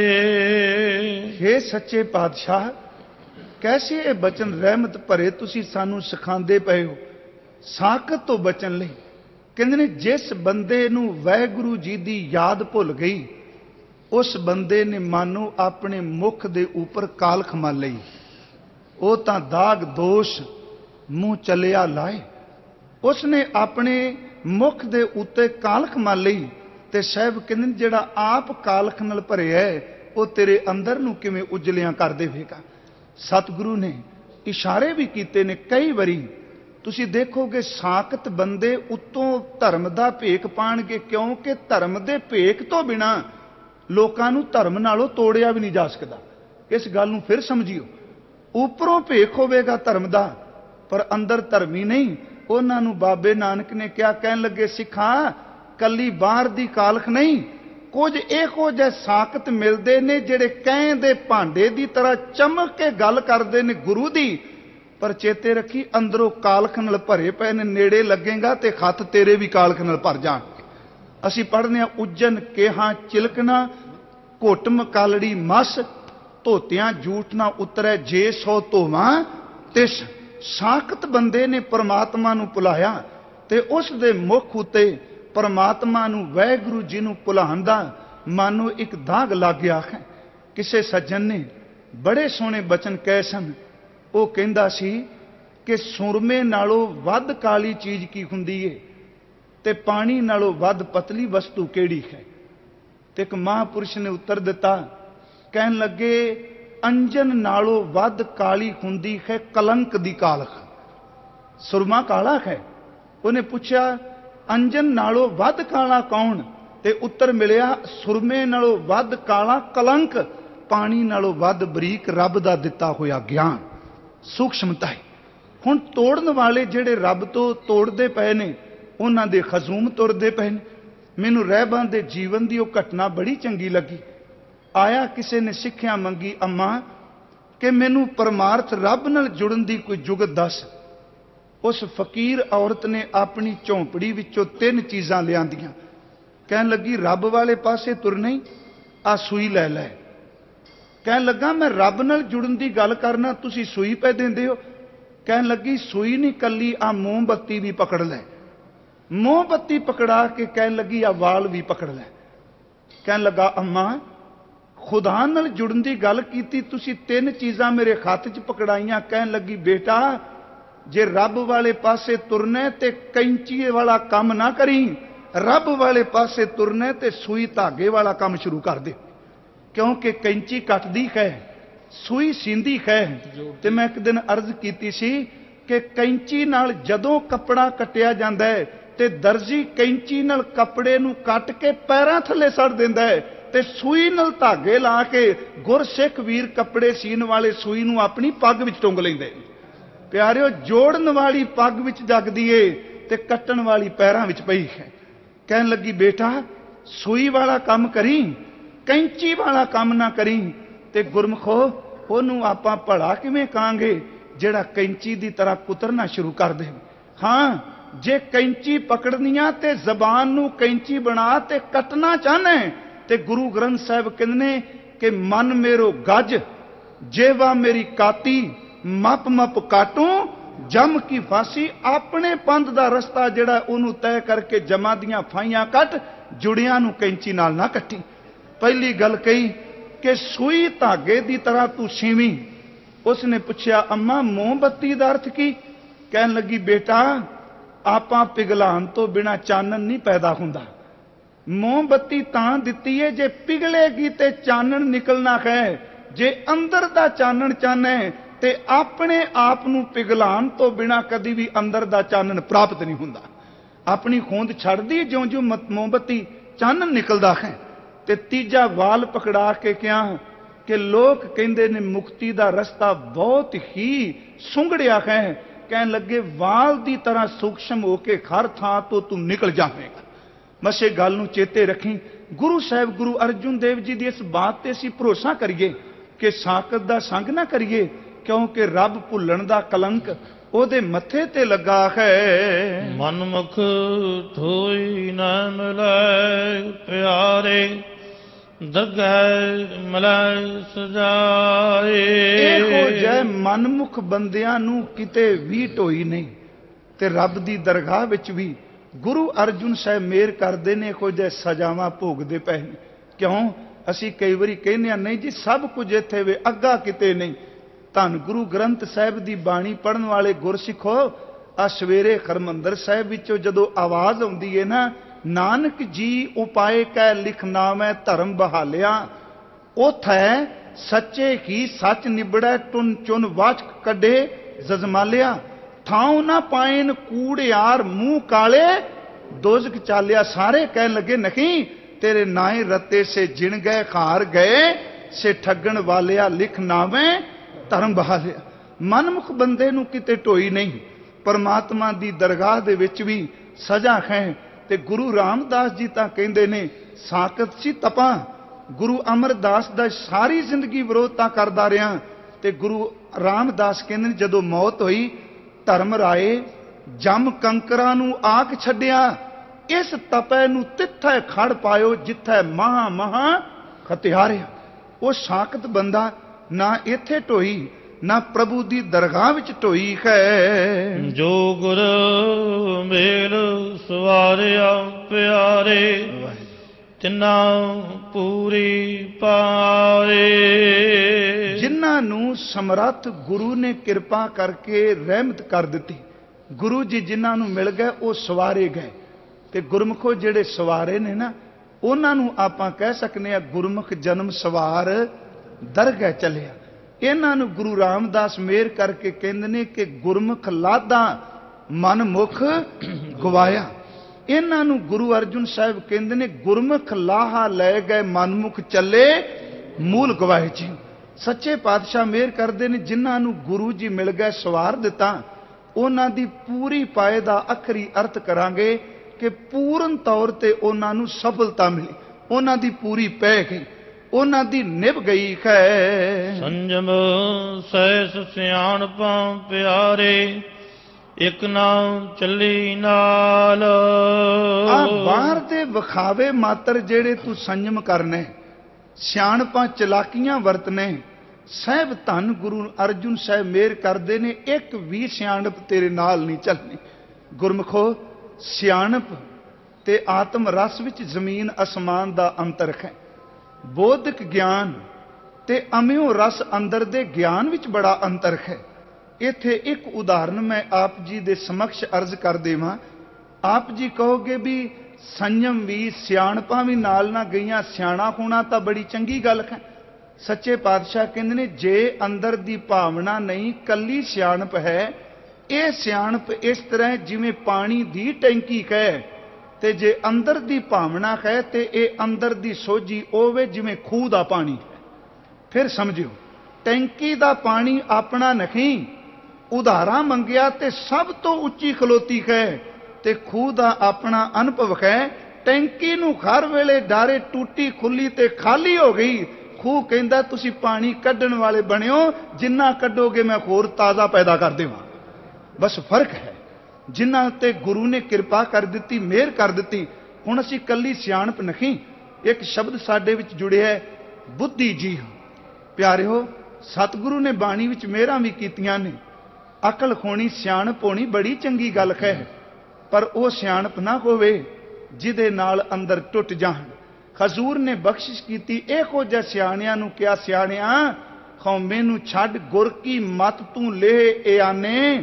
ਭਗਤ ਬਿਨਾ ਬਹੁ ਡੂਬੇ ਸਿਆਣੇ ਜੇ ਸਿਆਣਪ ਮੰਜ਼ਲ ਹੁੰਦੀ ਤੇ ਕਿਉਂ ਬਚਨ ਕਹਿ ਦਿੱਤਾ? ਭਾਈ ਸਾਹਿਬ ਭਾਈ ਵੀਰ ਸਿੰਘ ਉਹਨਾਂ ਨੇ ਇੱਕ ਬਚਨ ਕਿਹਾ ਸੀ। ਕਹਿਣ ਲੱਗੇ ਜਿੰਨਾ ਉਚਾਈਆਂ ਉੱਤੇ ਬੁੱਧੀ ਖੰਭ ਸਾੜ ਢੱਠੀ ਮੱਲੋ ਮੱਲੀ ਦਿਲ ਉਥੇ ਮਾਰਦਾ ਉਡਾਰੀਆਂ। ਪਿਆਲੇ ਅਣਡਿੱਠ ਨਾਲ ਬੁੱਲ ਲੱਗ ਜਾਣ ਉਤੇ ਰਸ ਤੇ ਸਰੂਰ ਆਵੇ ਝੂਮਾ ਆਉਣ ਪਿਆਰੀਆਂ। ਗਿਆਨੀ ਸਾਨੂੰ ਖੋੜਦਾ ਹੈ, ਸਿਆਣਪ ਵਾਲਾ ਗਿਆਨੀ ਸਾਨੂੰ ਖੋੜਦਾ ਹੈ, ਵਹਿਮੀ ਢੋਲਾ ਆਖਦਾ ਮਾਰੇ ਗਏ ਨੇ ਉਹ ਜਿਨ੍ਹਾਂ ਲਾਈਆਂ ਬੁੱਧੋਂ ਪਾਰ ਤਾਰੀਆਂ ਬੈਠ ਵੇ ਵਿਗਿਆਨੀ, ਬੁੱਧੀ ਮੰਡਲੇ ਦੀ ਕੈਦ ਵਿੱਚ ਵਲਵਲੇ ਦੇ ਦੇਸ਼ ਸਾਡੀਆਂ ਲੱਗ ਗਈਆਂ ਯਾਰੀਆਂ। ਗੁਰਮਖੋ, ਬੁੱਧੀ ਦਾ ਤਲ ਤੇ ਆਤਮ ਰਸ ਵਿੱਚ ਜ਼ਮੀਨ ਅਸਮਾਨ ਦਾ ਅੰਤਰ ਹੈ ਸਾਹਿਬ ਕਹਿੰਦੇ ਨੇ ਸੰਜਮ ਨਹੀਂ ਨਾਲ ਗਿਆ, ਸਿਆਣਪਾਂ ਨਾਲ ਨਹੀਂ ਗਈਆਂ, ਚਲਾਕੀਆਂ ਚਤੁਰਾਈਆਂ ਨਾਲ ਨਹੀਂ ਜਾਣਗੀਆਂ। ਜੋ ਬੇਮੁਖ ਗੋਬਿੰਦ ਤੇ ਪਿਆਰੇ ਤਿੰਨ ਕੁਲ ਲਾਗੈ ਗਾਲ। ਇਹ ਭਾਈ, ਜਿਹੜੇ ਗੋਬਿੰਦ ਤੋਂ ਪ੍ਰਭੂ ਤੋਂ ਬੇਮੁਖ ਹੋ ਗਏ ਨੇ, ਉਹਨਾਂ ਦੀ ਕੁੱਲ ਨੂੰ ਗਾਲ ਲੱਗਦੀ ਹੈ।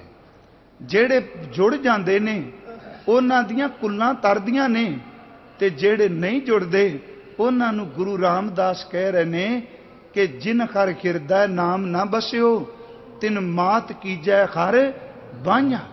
ਸਹਿਬ ਕਿਰਪਾਲੂ ਮੇਰ ਪੈ ਕਰ ਦੇਨ ਤਿਨ ਮਾਤ ਕੀਜੈ ਖਰ ਬਾਝਾ ਉਹਨਾਂ ਦੀ ਮਾਂ ਵਾਂਝ ਕਿਉਂ ਨਾ ਹੋ ਗਈ ਕਿ ਜਿਨ੍ਹਾਂ ਨੇ ਪਰਮਾਤਮਾ ਨੂੰ ਯਾਦ ਨਹੀਂ ਸੀ ਕਰਨਾ? ਇੱਥੇ ਸਾਹਿਬ ਕਹਿੰਦੇ ਨੇ ਆਪਣੀ ਕੁੱਲ ਨੂੰ ਗਾਲ ਨਾ ਆਉਣ ਦੇਈ। ਜੇ ਕੁੱਲ ਨੂੰ ਰੋਸ਼ਨ ਕਰਨਾ ਚਾਹਨੇ ਤੇ ਫਿਰ ਪਰਿਪੂਰਨ ਵੈਗੁਰੂ ਜੀ ਦੇ ਨਾਮ ਨਾਲ ਜੋੜ। ਹੁੰਦੀ ਵਸਨਾ ਜਤਿਆ ਪਿਆਰੇ। ਕੂੜ ਨਾ ਚੱਲੀ ਨਾਲ। ਹੁੰਦੀ ਵਸਤ ਇਹਦਾ ਅਖਰੀ ਅਰਥ ਤੇ ਜਿਹੜੀ ਤੇਰੇ ਨਾਲ ਨਿਭਣ ਵਾਲੀ ਜਿਹੜੀ ਖੋਣ ਵਾਲੀ ਚੀਜ਼ ਨਾਮ ਸੀ ਉਹਨੂੰ ਤਾਂ ਜਾਣਿਆ ਨਹੀਂ ਕਿਉਂਕਿ ਖੋਬਨ ਕੌੜਾ ਅਨਖੋਬਨ ਮਿੱਠਾ ਹੈ। ਜਿਹੜੀ ਚੀਜ਼ ਨਾਲ ਨਿਭਣ ਵਾਲੀ ਸੀ ਉਹਨੂੰ ਤਾਂ ਕੁੜੱਤਣ ਜਾਣ ਕੇ ਛੱਡ ਦਿੱਤਾ।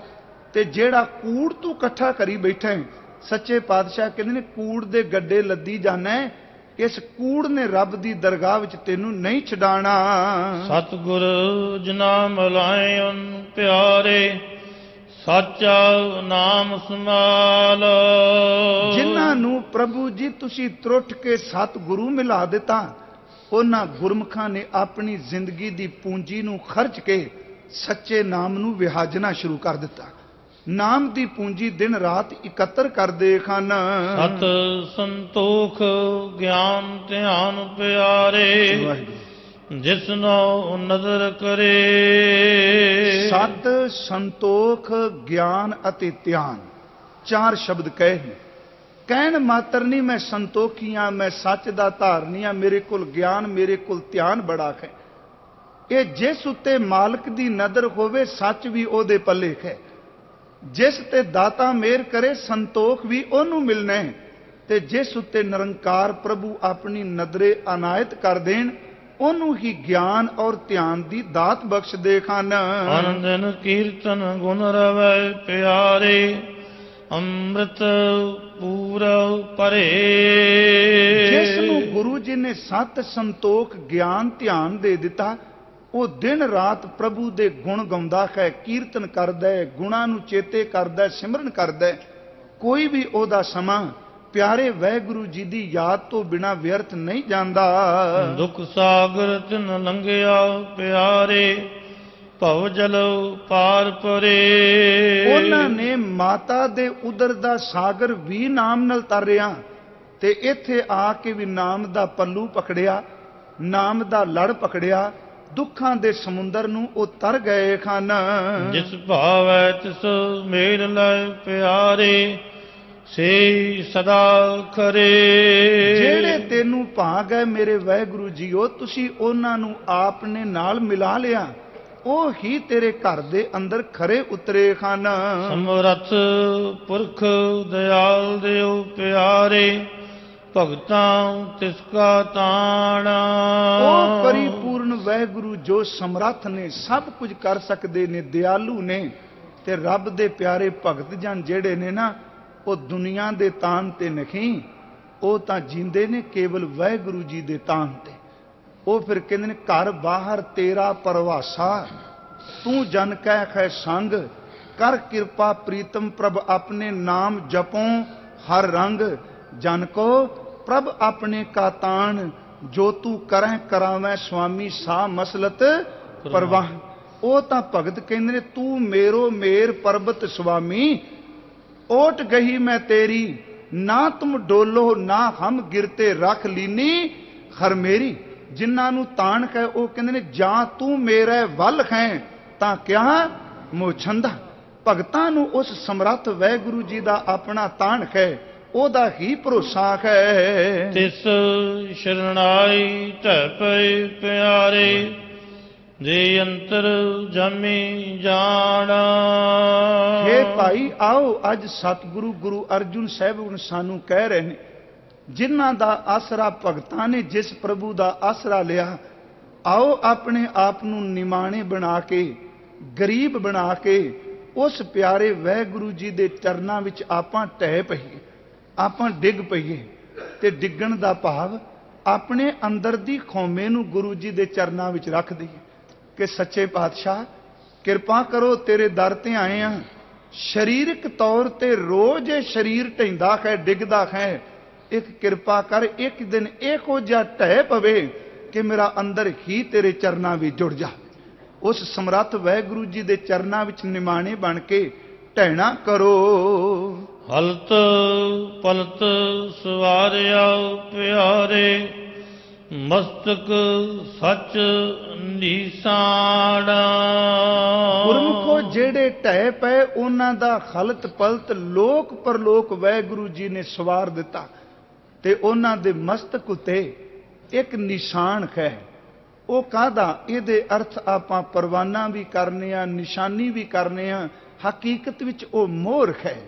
ਇਹੀ ਕਾਰਨ ਗੁਰਮੁਖ ਬੈਠੇ ਨੇ ਕਿ ਗੁਰੂ ਗ੍ਰੰਥ ਸਾਹਿਬ ਜੀ ਦੇ ਪਵਿੱਤਰ ਸਰੂਪ ਦੇ ਪ੍ਰਾਰੰਭਤਾ ਵਿੱਚ ਤਤਕਰੇ ਵਿੱਚ ਪੁਰਾਤਨ ਸ਼ਬਦ ਮਿਲਦਾ ਸੀ, ਜਪ ਨਿਸ਼ਾਨ, ਰਾਹਦਾਰੀ, ਮਸਤਕ ਦਾ ਨਿਸ਼ਾਨ, ਜਿਨ੍ਹਾਂ ਦੇ ਉੱਤੇ ਗੁਰੂ ਜੀ ਨੇ ਕਿਰਪਾ ਕਰਕੇ ਆਪਣਾ ਨਿਸ਼ਾਨ ਲਾ ਦਿੱਤਾ, ਆਪਣੀ ਮੋਹਰ ਲਾ ਦਿੱਤੀ।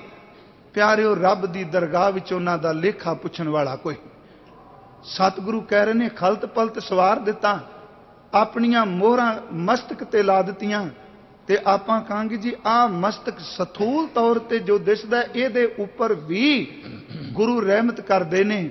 ਤੇ ਪਿਆਰਿਓ, ਜਿਹੜਾ ਸੂਖਸ਼ਮ ਜਾਣਾ ਹੈ, ਉਹਦੇ ਉੱਪਰ ਵੀ ਗੁਰੂ ਜੀ ਨੇ ਆਪਣੇ ਸ਼ਬਦ ਦੀ ਮੋਹਰ ਲਾਈ ਹੈ। ਸੋ ਪ੍ਰਭ ਕਦੇ ਨਾ ਵਿਸਰੈ ਪਿਆਰੇ ਨਾਨਕ ਸਦ ਕੁਰਬਾਨ ਧੰਨ ਗੁਰੂ ਪੰਚਮ ਪਾਤਸ਼ਾਹ ਮੇਰਾਂ ਦੇ ਘਰ ਵਿੱਚ ਆਏ।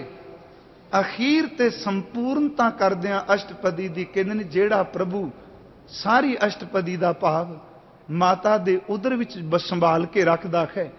ਜਿਹੜਾ ਬਿਨਾ ਬੋਲਣ ਤੋਂ ਰੋਜੀ ਦੇ ਰਿਹਾ ਹੈ, ਜਿਹੜਾ ਬਿਨਾ ਕਹਿਣ ਤੋਂ ਦੁਨੀਆ ਦੇ ਸੁੱਖ ਦਿੰਦਾ ਹੈ, ਜਿਹੜਾ ਤਰੁੱਟ ਪਵੇ ਤੇ ਪੂਰੇ ਗੁਰੂ ਨੂੰ ਮਿਲਾ ਦਿੰਦਾ ਹੈ ਜਿਹੜਾ ਤਰੁੱਟ ਪਵੇ ਤੇ ਜੀਵਨ ਨੂੰ ਸਵਾਰ ਦਿੰਦਾ ਹੈ, ਜੋ ਰਹਿਮਤ ਦੇ ਘਰ ਵਿੱਚ ਆਏ ਸਾਖਤਾਂ ਤੋਂ ਬਚਾ ਦਿੰਦਾ ਹੈ।